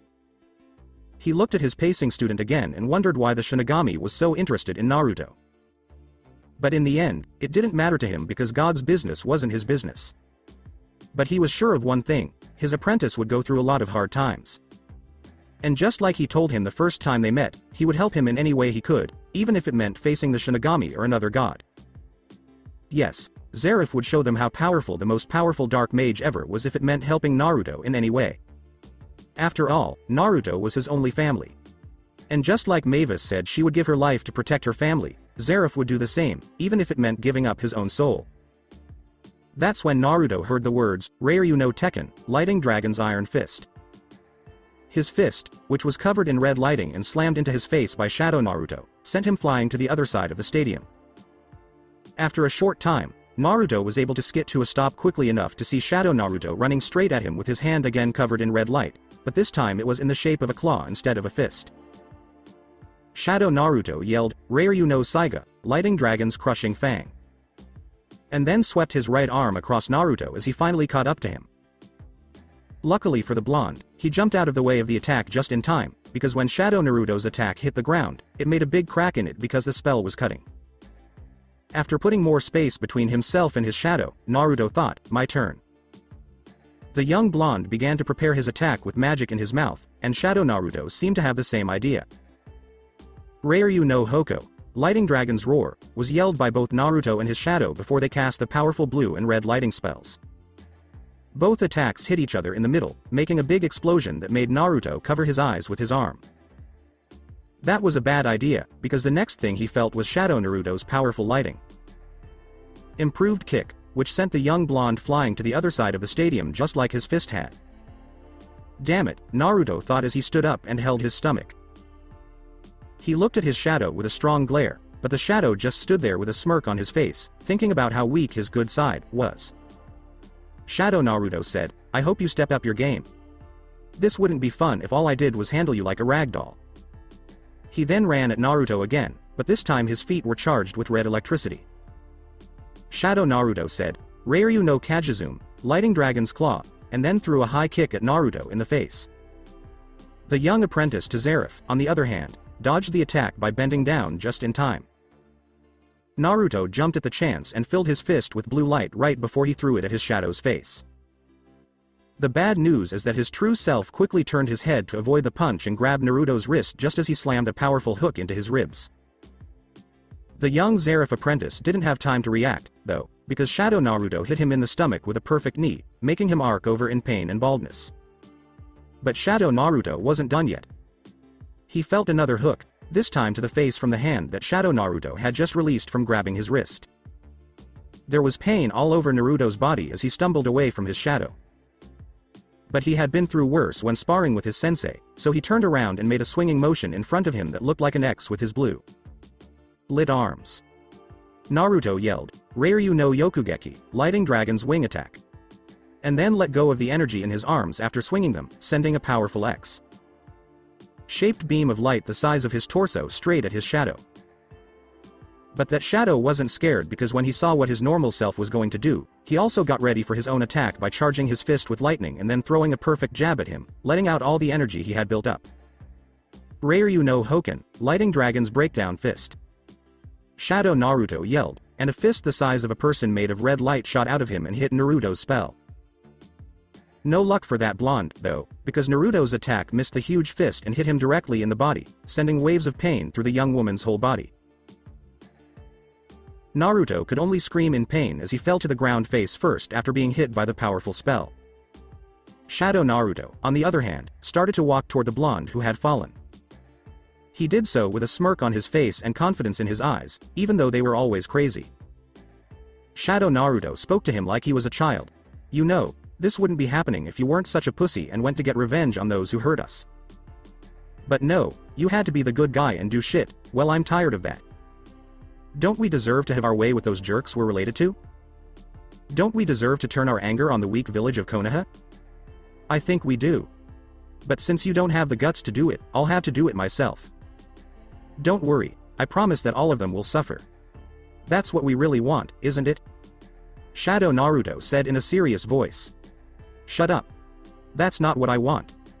I'm not a monster like you. Naruto yelled at him as he tried to stand up, giving him a mean look. He only raised an eyebrow and let out a sigh. Forget it, the shadow said with a sly grin. I'm sick of trying to make you understand, so you can just die already. His hand was full of red electricity and shaped like a claw. Shadow Naruto pointed the attack right at Naruto's neck and said, Reiryu no Saiga, lighting Dragon's crushing fang. That's when Shadow Naruto was sure he had won. The sound he heard after the attack wasn't what he thought it would be, though. Puff. After using his Kawarimi no Jutsu, body replacement technique, Naruto just cut a log of wood in half. Shadow Naruto yelled, what? When his original self threw the kunai at him, the shadow of Naruto barely had time to turn around and catch it. He didn't even have time to think about where the log had come from. Naruto just smiled and said, really? This is all you have at this point? I have to say I'm disappointed in you. Shadow Naruto said this with a deadpan look, separating his counter like he was an idiot. Someone making a noise with the kunai in Shadow Naruto's hand stopped him from asking what was so funny. When he looked at the kunai, he couldn't stop the course to speak. I cursed, fuck me sideways, as Shadow Naruto let go of the kunai, but it was too late. The paper bomb Naruto had put there went off right away, sending a lot of smoke into the air and hurting Shadow Naruto. That's it, you little jerk. You're dead, and as soon as I get my hands on you, I'm going to rip you apart. Yelled an angry Shadow Naruto as he was still recovering from the explosion. His body and clothes had some burns here and there, but it would take a lot more to really hurt or kill someone like him. It surprised Shadow Naruto when, from the cloud of smoke that the explosion created, at least a dozen shuriken came flying at him. He was able to block them with his own kunais, but he wasn't able to avoid the powerful spear. Like blue lightning that hit him right in the chest, setting off an explosion of electricity that made Shadow Naruto curse after being hit by what he recognized as the Reiryu attack. Naruto wasn't done yet, though, because he was moving very quickly towards Shadow Naruto. If you paid close enough attention, you could see that something was wrong with this Naruto, but Shadow Naruto was too angry to notice. He met Naruto halfway and slammed his fist into his face, but to his surprise, the attack went right through him. A copy. Shadow Naruto thought that, but it was too late. The real Naruto, who was hiding behind the clone, cut the distance between him and his shadow and hit him hard with an uppercut that lifted him off the ground. Naruto wasn't going to miss this chance, though, so he jumped backwards quickly and cast another spell, hoping that would end the fight. Naruto used Ryu no Hoko, Lighting Dragon's Roar. The powerful lighting roar hit Shadow Naruto while he was on the ground and caused another explosion. Naruto stood there for a moment, trying to catch his breath while looking at the cloud of smoke that his attack had created. His eyes widened in shock when he saw a black energy projectile coming from the smoke at too high of speed for him to avoid. When he tried, the attack went through his shoulder completely, making him growl in pain and put his hand over it to stop the bleeding. Now I'm really mad. I was going to make this quick, but now I just want to. Break you, Shadow Naruto hissed when he appeared after the cloud of smoke went away. He looked awful because his clothes were torn in some places and blood was running through his chest and mouth. Now angry, Shadow Naruto raised his hand and pointed at Naruto. Suddenly, several black magic circles the size of his head appeared around him. Shadow Naruto spoke, Kuroi Yajirushi, Kantsu, dark arrows. Piercing, before each circle sent the same type of black projectiles, each about the size of a kunai, straight at Naruto. Yami no Maho, darkness magic, was clearly shown to that blonde, and he was stunned for a moment. But he quickly recovered in time to start dodging the arrows that Shadow Naruto had called up. Even though he was able to avoid many of the projectiles, Naruto wasn't ready when Shadow Naruto split some of them in midair, making two of each arrow and changing their path so that Naruto couldn't avoid them in time. He screamed in pain, Gaw. After several of those arrows went through his shoulders, legs, arms, and thighs. In the end, the young blonde fell to his knees in pain. The blood loss from each of his wounds made it a little hard for him to see. The blonde looked up while on his knees and saw Shadow Naruto already there, with anger on his face instead of his usual smirk. This is what he was aware. Shadow Naruto told the blonde, this is your loss, but now I'll enjoy this as much as I can. He then began to kick her, and she fell to the ground face first.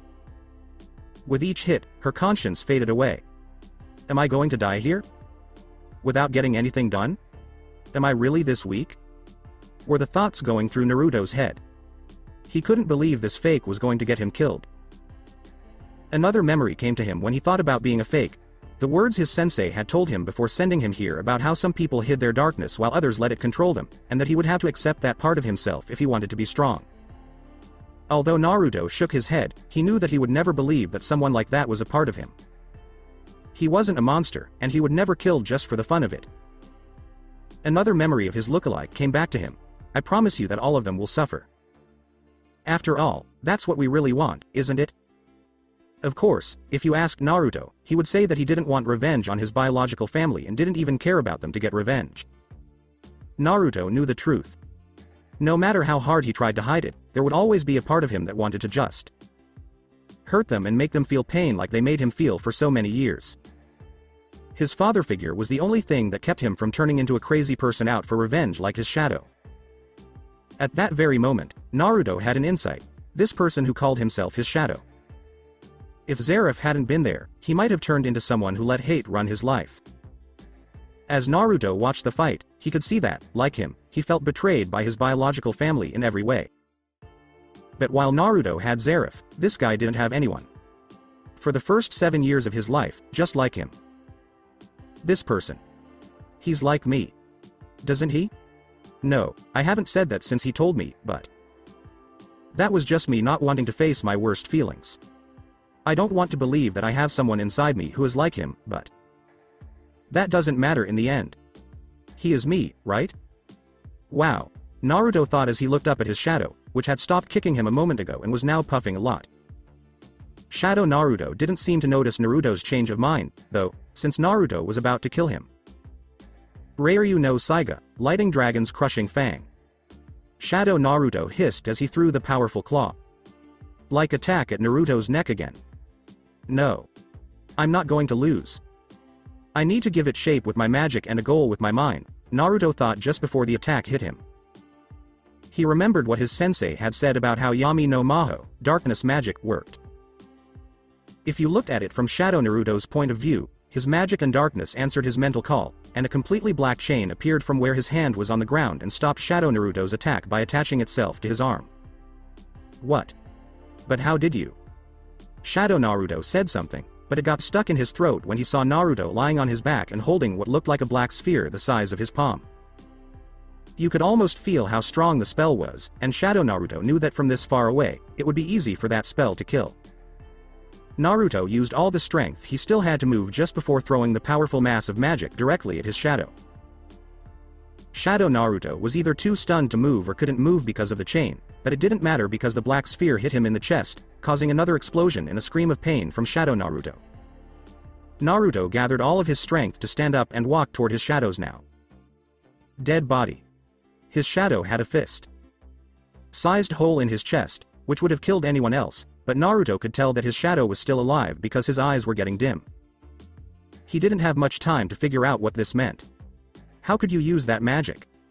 Shadow Naruto asked between bloody coughs. He wanted to know how his weaker self was able to do something that the day before was impossible. Naruto spoke with all the fire he could muster, I accepted what you said. It's true, there is a part of me that wants to see them suffer. But I won't let that control me.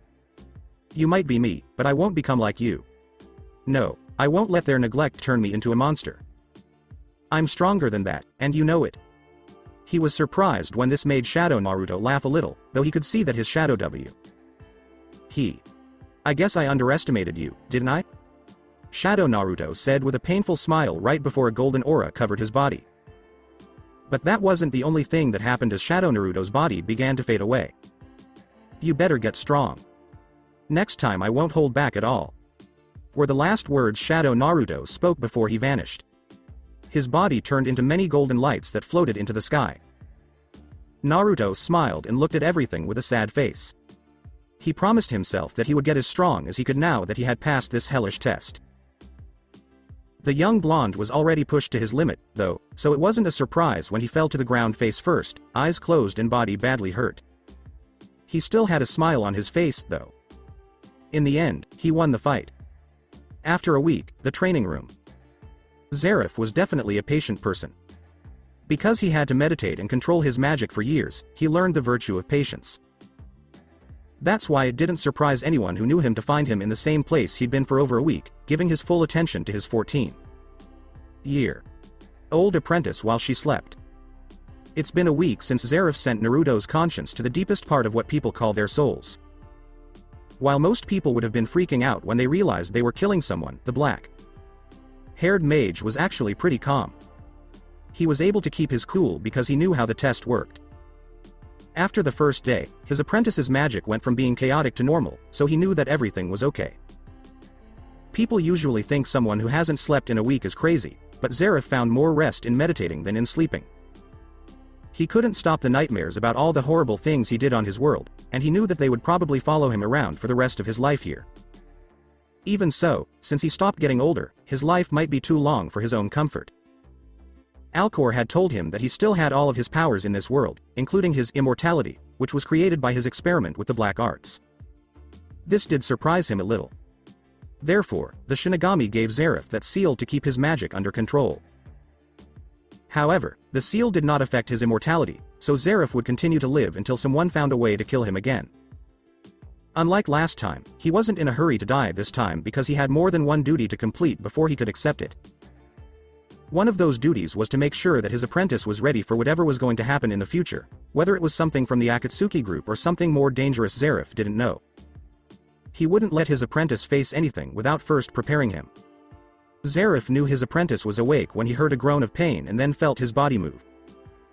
This made Zeref let out a sigh of relief, because if what he had heard from outside was true, then Naruto should come back as soon as possible. Damn my back, was the first thing Naruto said as he straightened up in his seat with one hand on the bridge of his nose to try to stop the headache he could feel coming on. He told Zeref, that's what happens when you sleep on the floor for a week. This caught the attention of his apprentice. Naruto said with a smug look on his face, you could have moved me to a bed. And risk something happening to you? I don't think so, Zeref told his apprentice. The apprentice stood up and stretched, which made some of his bones crack. After a short pause, Zeref asked directly, what happened? Naruto didn't even need to ask to understand what his sensei was talking about. It was clear. So, Zeref's young apprentice told his sensei everything that happened after he woke up in that strange stadium, from meeting his shadow to the fight and how he beat him and eventually accepted his shadow as a part of himself. While this was going on, Zeref stood there and listened intently to his apprentice's story. He felt more and more proud of himself because he had done something that almost no one else had, he had accepted his darkness and then controlled it. Sensei and apprentice stood there without saying anything after Naruto finished his story. That is, until the young blonde asked him a question that had been bothering him ever since he started fighting his shadow. A confused Naruto asked, Sensei, how come my shadow's attacks hurt me? Isn't it supposed to protect me from lightning? This was because his sensei had told him everything about his Kaminari no Metsuryu Maho, lighting dragon slayer magic, and one of the benefits of this magic was that it protected its user from lightning. Naruto, you need to understand something first. What you just saw wasn't a battle of mages. It was a battle of wills. While you and your shadow cast spells, they were just ways to show how strong your wills were. They were not real magic. So, neither of you could eat the other's lightning spells. This is also why, once you accepted him as a part of you, you were able to use what looked like Yami no Maho, darkness magic, so perfectly. You were giving him power by thinking he was someone else when he was actually you, which is also why he got stronger every time you turned him down, Zeref explained.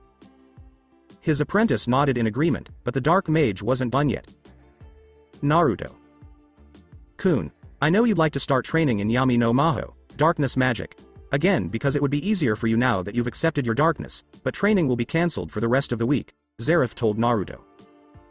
Naruto's apprentice looked surprised because this was the first time his sensei had said something like this. Why, why? Naruto asked with a serious face. There had to be a good reason for his sensei's choices, since he knew the man would never do something like this just for fun. Zeref could only sigh, knowing that what he was about to say would have an effect on his apprentice. Zeref stopped Naruto in his tracks by raising his hand. Naruto. Kun, the reason for that is that I need you to lay low for a while. It had been a week since Naruto started the task. Zeref continued with his usual emotionless face, not surprised at all when his blonde apprentice's eyes widened in surprise. But how? How is that even possible? Asked Naruto, trying to calm down before he spoke. He thanked his training for helping him control his feelings, since his first reaction was to jump and scream. What happened, Naruto? Kun? Even though you passed the test in just one day, it took a full week for your magical core to stabilize and for your body and mind to get used to the changes that happened when you accepted your shadow and the Yami no Maho magic that came with it. Because of that, you fell into a coma that lasted a week, I need you to stay out of sight for a while. Since you haven't been to school for a week, someone might get suspicious, and we can't have anyone finding this place or learning about your relationship with me, Zeref said, getting a small nod of agreement from his apprentice. The apprentice still looked a little confused about what he had learned, but since he couldn't think of a reason for his S. Besides that, that really explained why he was so hungry. Zeref couldn't help but think about what his apprentice would do if he told him that the real reason he wanted Naruto to take it easy for a while was because Naruto's family had finally decided to pay attention to him. When Zeref's spy told him what was going on with the Hokage and his family, he thought, they couldn't have picked a worse time. It's already late, Naruto. Kun, and tomorrow is your first day at the academy because it's Sunday. I think you should go home and rest for today, because tomorrow might be a little hard for you, Zeref said, getting another nod from his apprentice. The apprentice started walking toward his room, which had a magic circle that would send him to his apartment, while muttering about how he would have to deal with Sasuke's anger tomorrow. As Zeref spoke softly enough that his apprentice could not hear, he said, I think the Uchiha will be the least of your concerns. The Dark Lord wanted to tell Naruto everything he knew about how interested his family was in him, but he thought this would be a good test for the young blonde, one of control and hearth. Let's see how you handle them, Naruto. Kun, especially now that you've accepted your own inner demons, Zeref said in a low voice. He then sat back down on the floor with his eyes closed, knowing that this was a test for his young apprentice. For his own safety and the safety of the village, he really hoped that his apprentice could stay in charge. That last part didn't seem to bother Zeref very much, though. In the meantime, Naruto. Isn't this nice?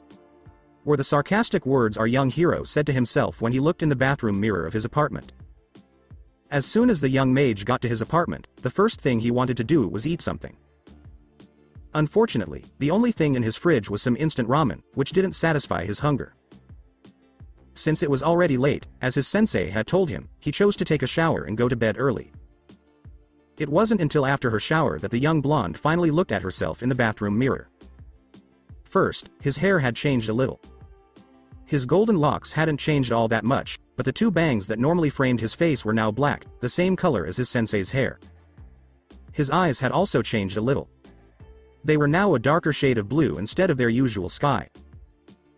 Blue color, but Naruto thought the biggest change was that his whisker marks were gone. Naruto said to himself as he put on his sleepwear, which was just a black shirt and shorts, great, more things to explain to Sasaki and Shikamaru, though that guy probably won't even bother to ask anything because he thinks it would be too much trouble.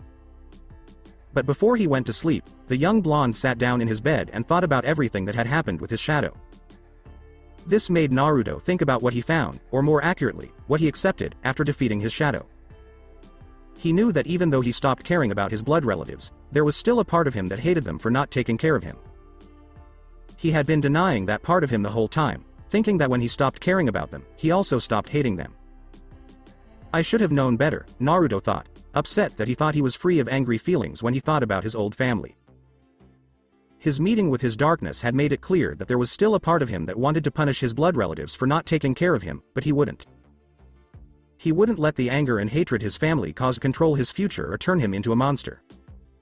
He wasn't sure if he would ever let go of his anger and hatred toward his former family. It was too strong in his heart at this point.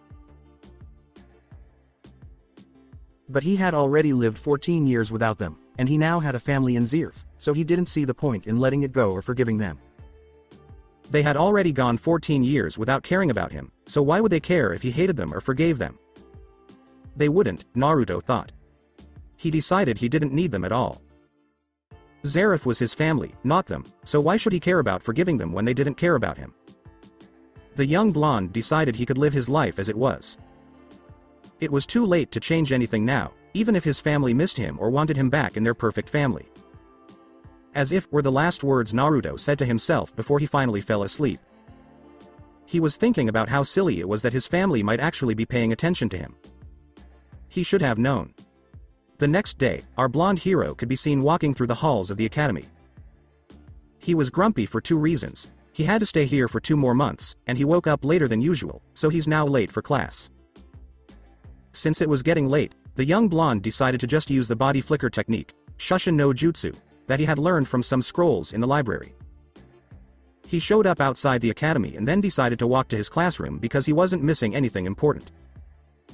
When the young Zeref apprentice finally got to his classroom, he didn't expect anyone to stop what they were doing and just stare at him. This included the students and the teacher, whose name, if Naruto remembers correctly, is Iruka Umino, a Chunin. The teacher was doing the best imitation of a fish Naruto had ever seen by opening and closing his mouth but not moving his jaw. It seems like something is wrong, sensei. How did the scarred Chunin get rid of the lump that seemed to have formed in Naruto's throat? He asked politely, his voice shaking. Who is Naruto Uzumaki? Namikaze? Asked the Chunin, which made Naruto blink twice. He didn't think that the changes in his hair and face were that noticeable for the teacher to question his identity. He had missed a week of class, but he wasn't a very active student to begin with, so why the sudden reaction? Yes. Is something wrong? I answered Naruto, and right on cue, three figures appeared around him. Naruto tensed up as soon as the figures appeared, and he mentally scolded himself for not sensing them sooner. But it was too late for that. At this point, all he could do was think about what the ANBUs wanted with him. Who is Naruto Uzumaki? Namikaze? Why are you here? asked the Anbu with silver hair and a dog mask. Naruto almost rolled his eyes. He was sure he had just answered the question, which was why they were there in the first place. Naruto replied, yes. His mind was racing as he tried to figure out why the ANBUs were there to help him. Could someone have found out something about his sensei or the training room? No, that was impossible. He made sure no one was following him in the first place, and the room was very well hidden. What did they want? Someone with black hair and a weasel mask said, Uzumaki. Namikaze. Sama, Hokage. Sama has called you. You must come with us. Even though Naruto tried to hide it, he became even more suspicious when the word Hokage was used. He wasn't excited to see his ex father. He just hoped this could end quickly and without revealing anything important. Fine, Naruto said, wanting to get this over with quickly. As soon as he did, the third Anbu, who was the only woman among them and wore a snake mask, put her hand on his shoulder and disappeared with him in a Shunshin no Jutsu, body flicker technique. Her two friends did the same thing a second later, and they were on their way to the Hokage office, where the Hokage and his wife were very worried about finding their missing son. Naruto didn't have time to notice how his classmates reacted when he walked into the classroom. The most common reaction was confusion, followed by surprise. But there were some interesting ones, like Shikamaru's, whose face was full of suspicion, or Hinata Hyuga's, whose face was a mix of happiness and relief, though that expression changed as soon as she thought of a certain memory. Of course, Naruto didn't see the annoyed look and glare that Menma gave him or the happy look that Sasaki had on her face when he walked in. Although, that happy look turned into worry when she saw the ANBUs take her blonde friend. He also missed the one tear that had fallen from his sister's eye. Hello, Oni. San. A short time ago, the Hokage's office. Sadness, regret, self.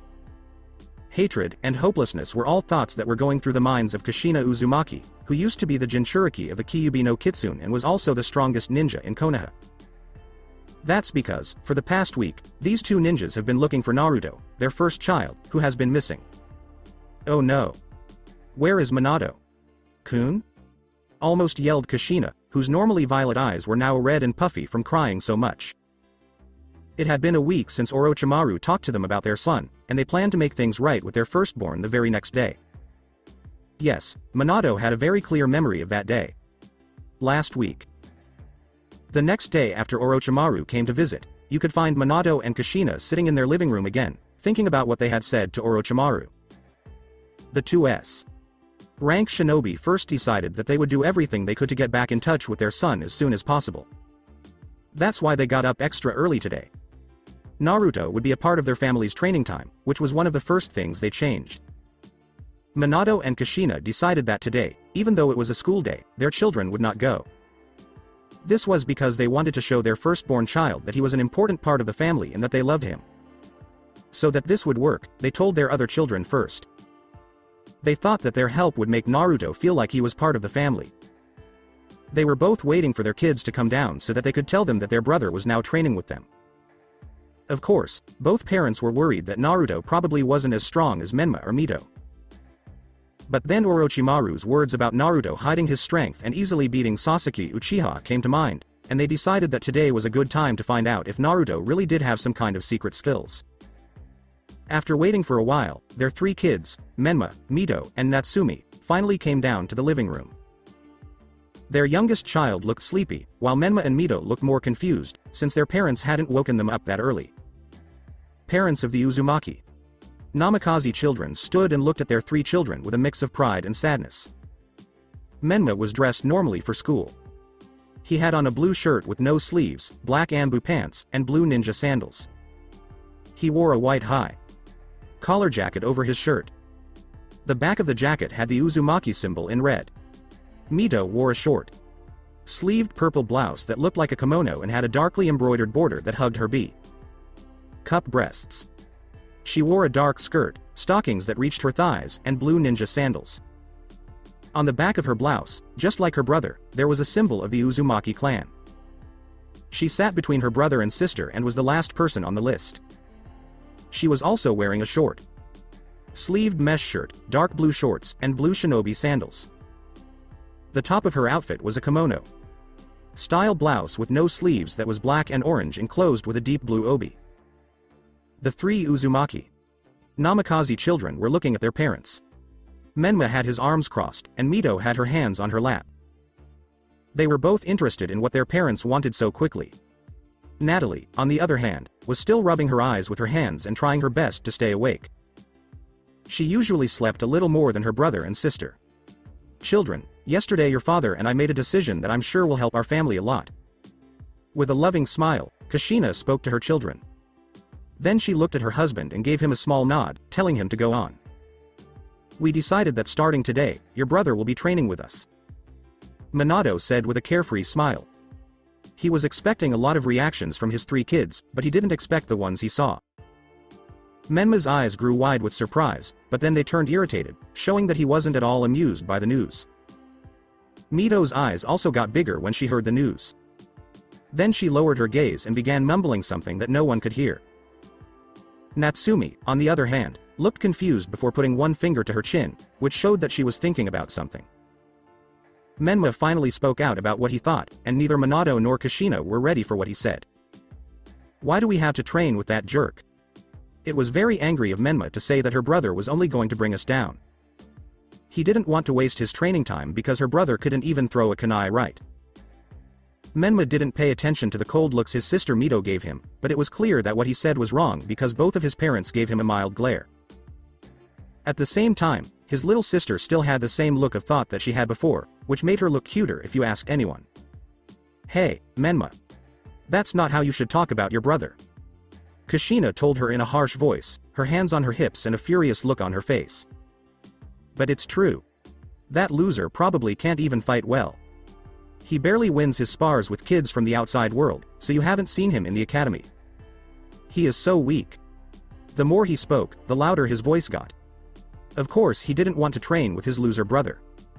He needed to get stronger, and having his weak brother pick on him while they trained with their parents would not help him at all. Menma that's enough. It doesn't matter if Naruto is behind you in training. He's still your brother and you will treat him with the respect he deserves. Minato yelled at one of his sons for talking badly about his brother. Menma looked like he was about to say something else to his parents, most likely something bad about his brother based on what he had already said but he was stopped by his sister Mito's cold voice and then turned around. The young redhead threatened, Shut up, Menma, before you say something that won't let you train for the day. Her violet eyes were looking right into her brother's blue ones, and Menma found himself gasping at the look she gave him. After all, an angry Uzumaki girl was the only thing that really scared Menma and Minato. No matter how much his life depended on it, Menma would never say it. After letting out at TCH, and making a mean face, the young blonde Jinchuriki of the Kyuubi just turned his back on her. With a raised eyebrow, Mito turned his attention from his brother to his parents. Ka. San, too. San, not that I'm against it but why the change? The question made Mito wonder why her parents wanted to train her Oni. San since they never did anything interesting for him. When Minato and Kushina heard this question, they both looked sad. The shame they felt for forgetting one of their children was still fresh in their minds, and they knew it would probably go away completely soon. With a sad smile, Minato looked at his wife and then at his children and said, We were told we made a mistake, and we're trying to fix it, Mito.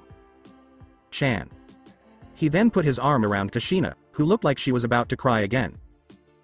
The young woman with the red hair seemed happy with the answer and decided not to bring it up again for now, but she couldn't stop thinking about how her Oni, San would react to this, which made her feel bad.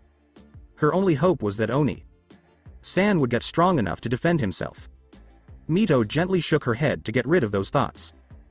Every time she thought about her brother, she remembered the choice she made when she was 7 years old and how bad she has felt ever since. Ka. Chan how does Naruto? Oni. Chan looks like? Asked Natsumi out of the blue with an innocent look on her face.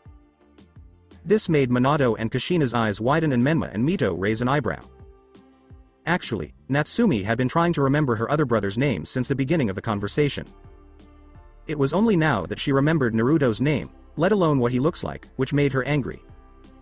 To be fair, she does forget she has another brother sometimes because she hasn't talked to him in years. They both looked scared at each other because it seemed like their relationship with Naruto wasn't the only one that was at best bad. Menma seemed mad at him for something, but Natsumi couldn't even remember who he was. The person in the family who seemed to have the best relationship with Naruto was Mito. However, Orochimaru said that relationship wasn't very good either. This made Minato and Kushina feel even worse about their feelings. They had been such bad parents that they had forgotten about one of their kids and didn't even know how Naruto had cut himself off from his family. They promised their son again that they would make things right with him no matter what. The redhead with the oldest hair let out a sigh and then smiled at her kids, but Mito and Menma could tell that her smile was stiff. Why don't you go wake up Naruto? Kun so that we can start the day? Minato asked his daughter, Natsumi. He was trying to change the subject because he couldn't just tell her that he and Kushina didn't know for sure what their son looked like. Little Natsumi smiled and nodded, then practically skipped up the stairs to the second floor of the house while the rest of the family waited in the living room. But this seemed like the right thing to say. Before they did anything else today, Minato and Kushina wanted to talk to Naruto to let him know they loved him and were sorry they hadn't shown it more often. Natsumi came back to the living room after only a few minutes, but she did so with a shy look on her face and without her brother. What happened, Natsumi? Chan? Kushina asked her daughter as she walked up to her. Her voice was full of worry. I didn't want to wake Naruto. Oni. Chan up because I didn't want to make him mad at me, Natsumi said in a shy voice that wasn't like her at all. I'm sure Naruto. Kun won't get mad at you for that Natsumi. Chan, but why don't we all go to wake him up? A loving smile spread across Minato's youngest daughter's face as he spoke. But in the back of his mind, the thought of not knowing how his son would react almost made him let out a sigh. That answer got another happy nod from Natsumi, who led not only her parents but also Mito, who was very interested in seeing Naruto's room, and Menma, who came along because he had nothing else to do. When the Uzumaki Namikaze family got to Naruto's room, Minato was the one who knocked on the door. He was waiting for his son to open it or say something. There was silence for a moment before Minato knocked on the door again. The same thing happened this time, which made Kushina a little worried. Kushina knocked on the door and said, Naru. Kun, it's time to wake up. Just like when her husband did, she got no answer, which made her look at him a little worried, but he just nodded inside, thinking that his wife was being a little too dramatic. The oldest man in the family said, Naruto. Kun, we're going in, and then he opened the door to Naruto's room. What they saw was not what they were expecting. In simple terms, the room was empty. It only had a bed, a bookcase with no books in it, and a wooden desk that was empty. There were no posters or anything else on the walls that would have led you to believe that a 14 year old boy lived there. Kushina and Minato were both scared and busy because of this. As they walked around the room, Minato noticed that the bookcase and desk were both dusty, which meant that no one had used the room in a while. That's not possible, Minato thought, sharing his wife's worries about Naruto even more. But what Natsumi said next really scared the two adults to tears. Where's Naruto? Oni. Chan? That was correct. Naruto wasn't in this room at all. In fact, there was no sign that he lived here at all. They didn't have to say a word to know what the other person was thinking when they looked at each other.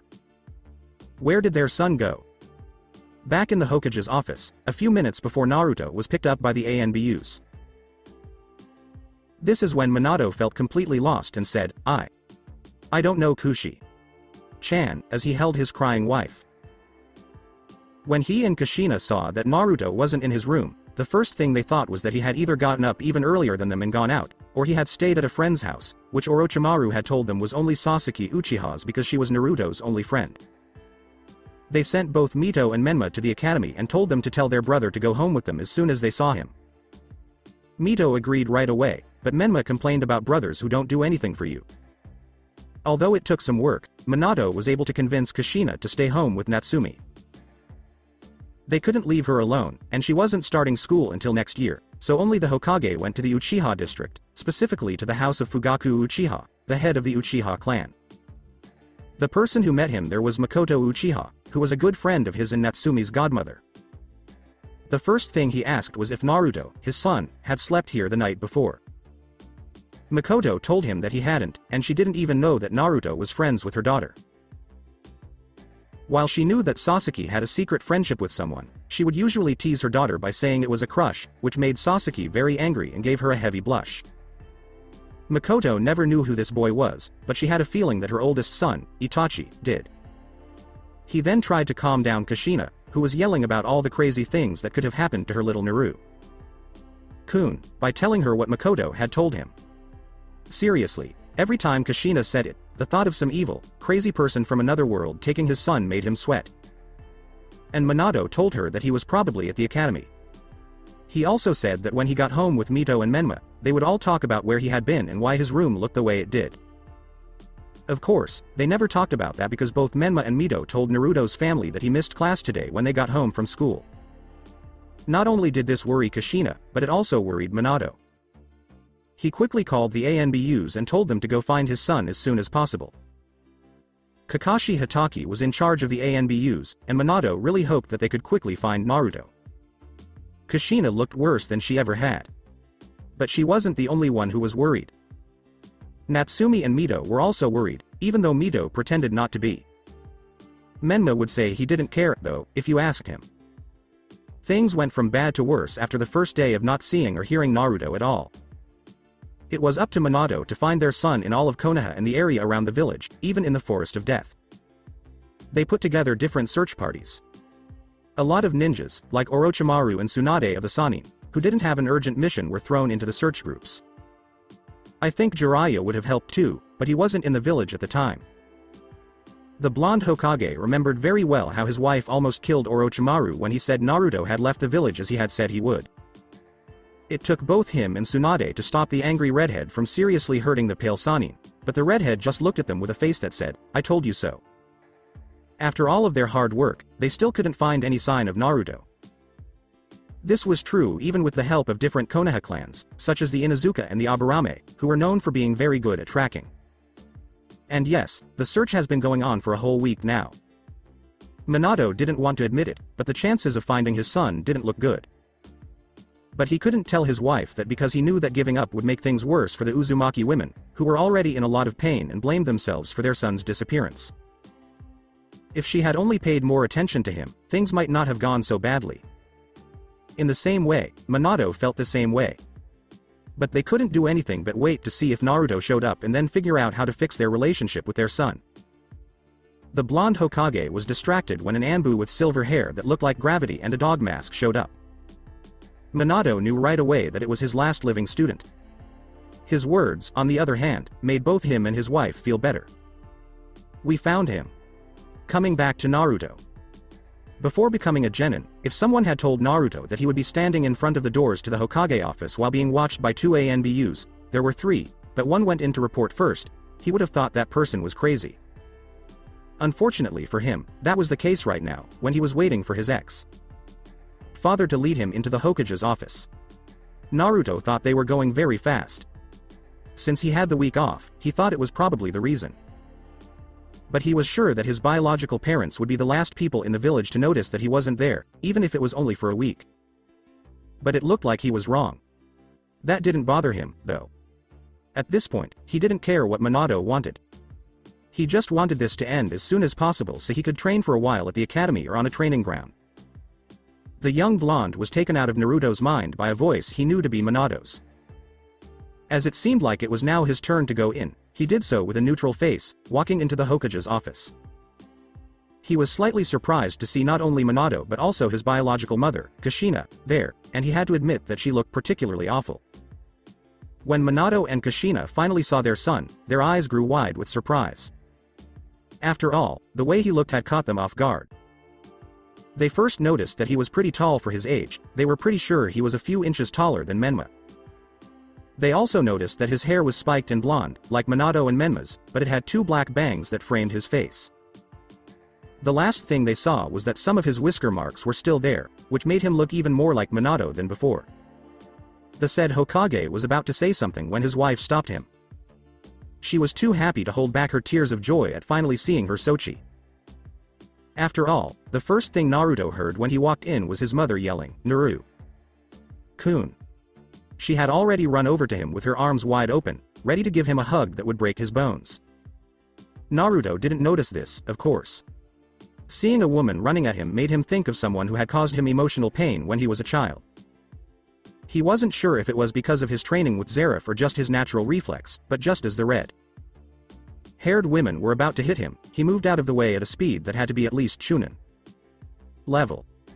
Kushina missed her hug and turned to see her son, her eyes showing a range of emotions that Naruto didn't notice.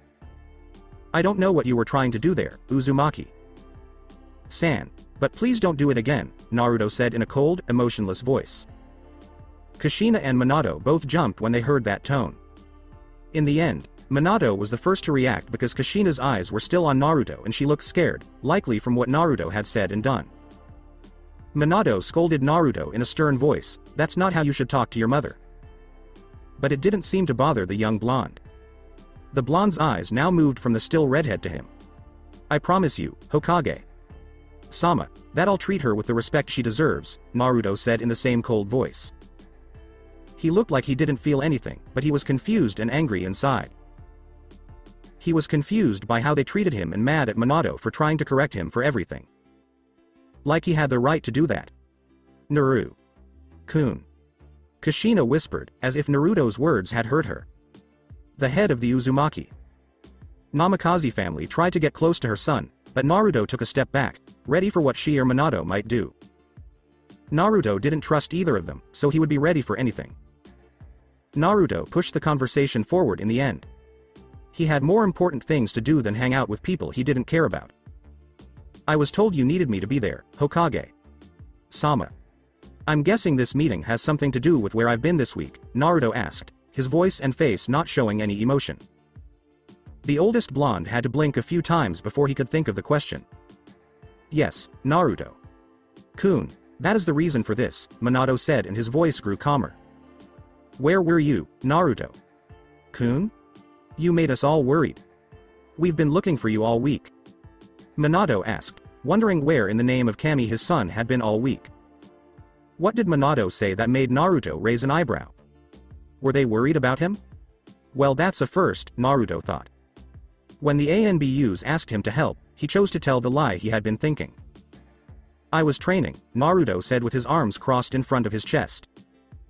His voice and face were exactly the same as Zeref's when he doesn't show any emotion. This time, Kushina almost yelled, but where? Though Naruto didn't respond, his eyes went straight from his biological father to the red. Haired beauty.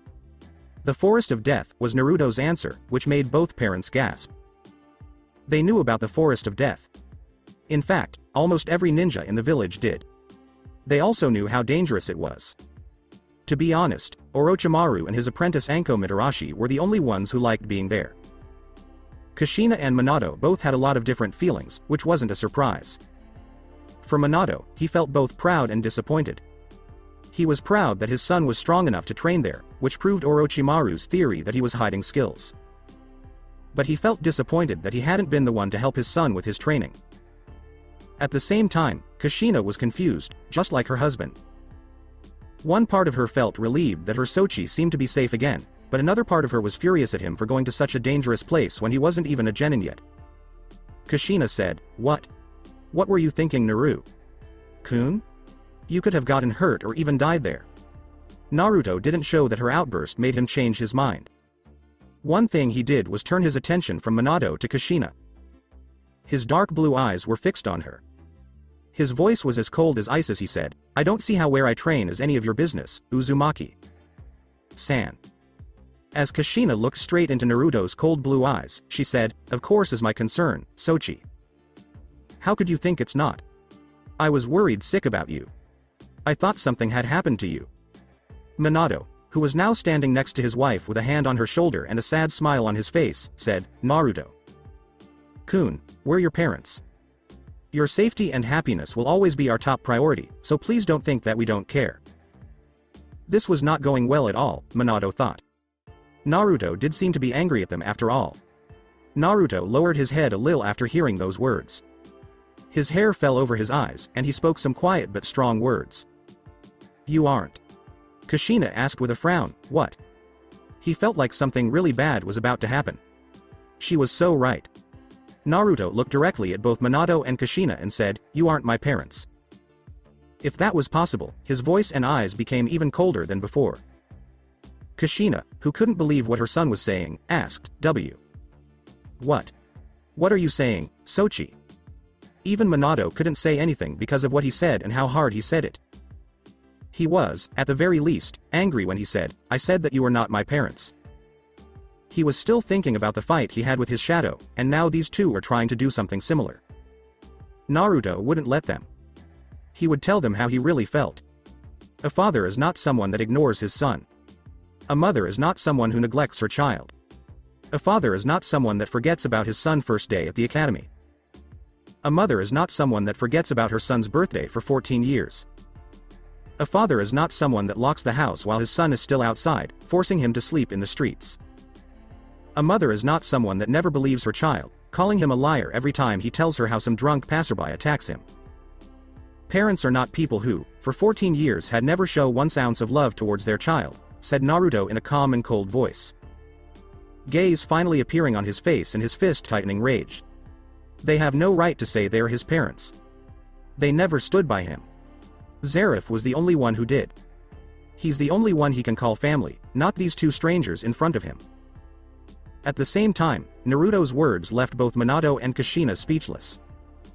It was a heavy blow for all of them. Were they really that bad at raising him? Had they really failed so badly that they made their own son feel that way? That was the worst way for both Minato Namikaze and Kushina Uzumaki to feel. They were like scum, trash, and real shit. Naruto said, that. As he walked toward the door. He didn't want to be here, and if things keep going this way, he'll do something he hates. He had to calm down before his magic went off or something worse happened. Is the reason why you aren't my parents. We may be related by blood, but that's all we have in common. For me you are nothing but strangers, people whose lives I couldn't care less about.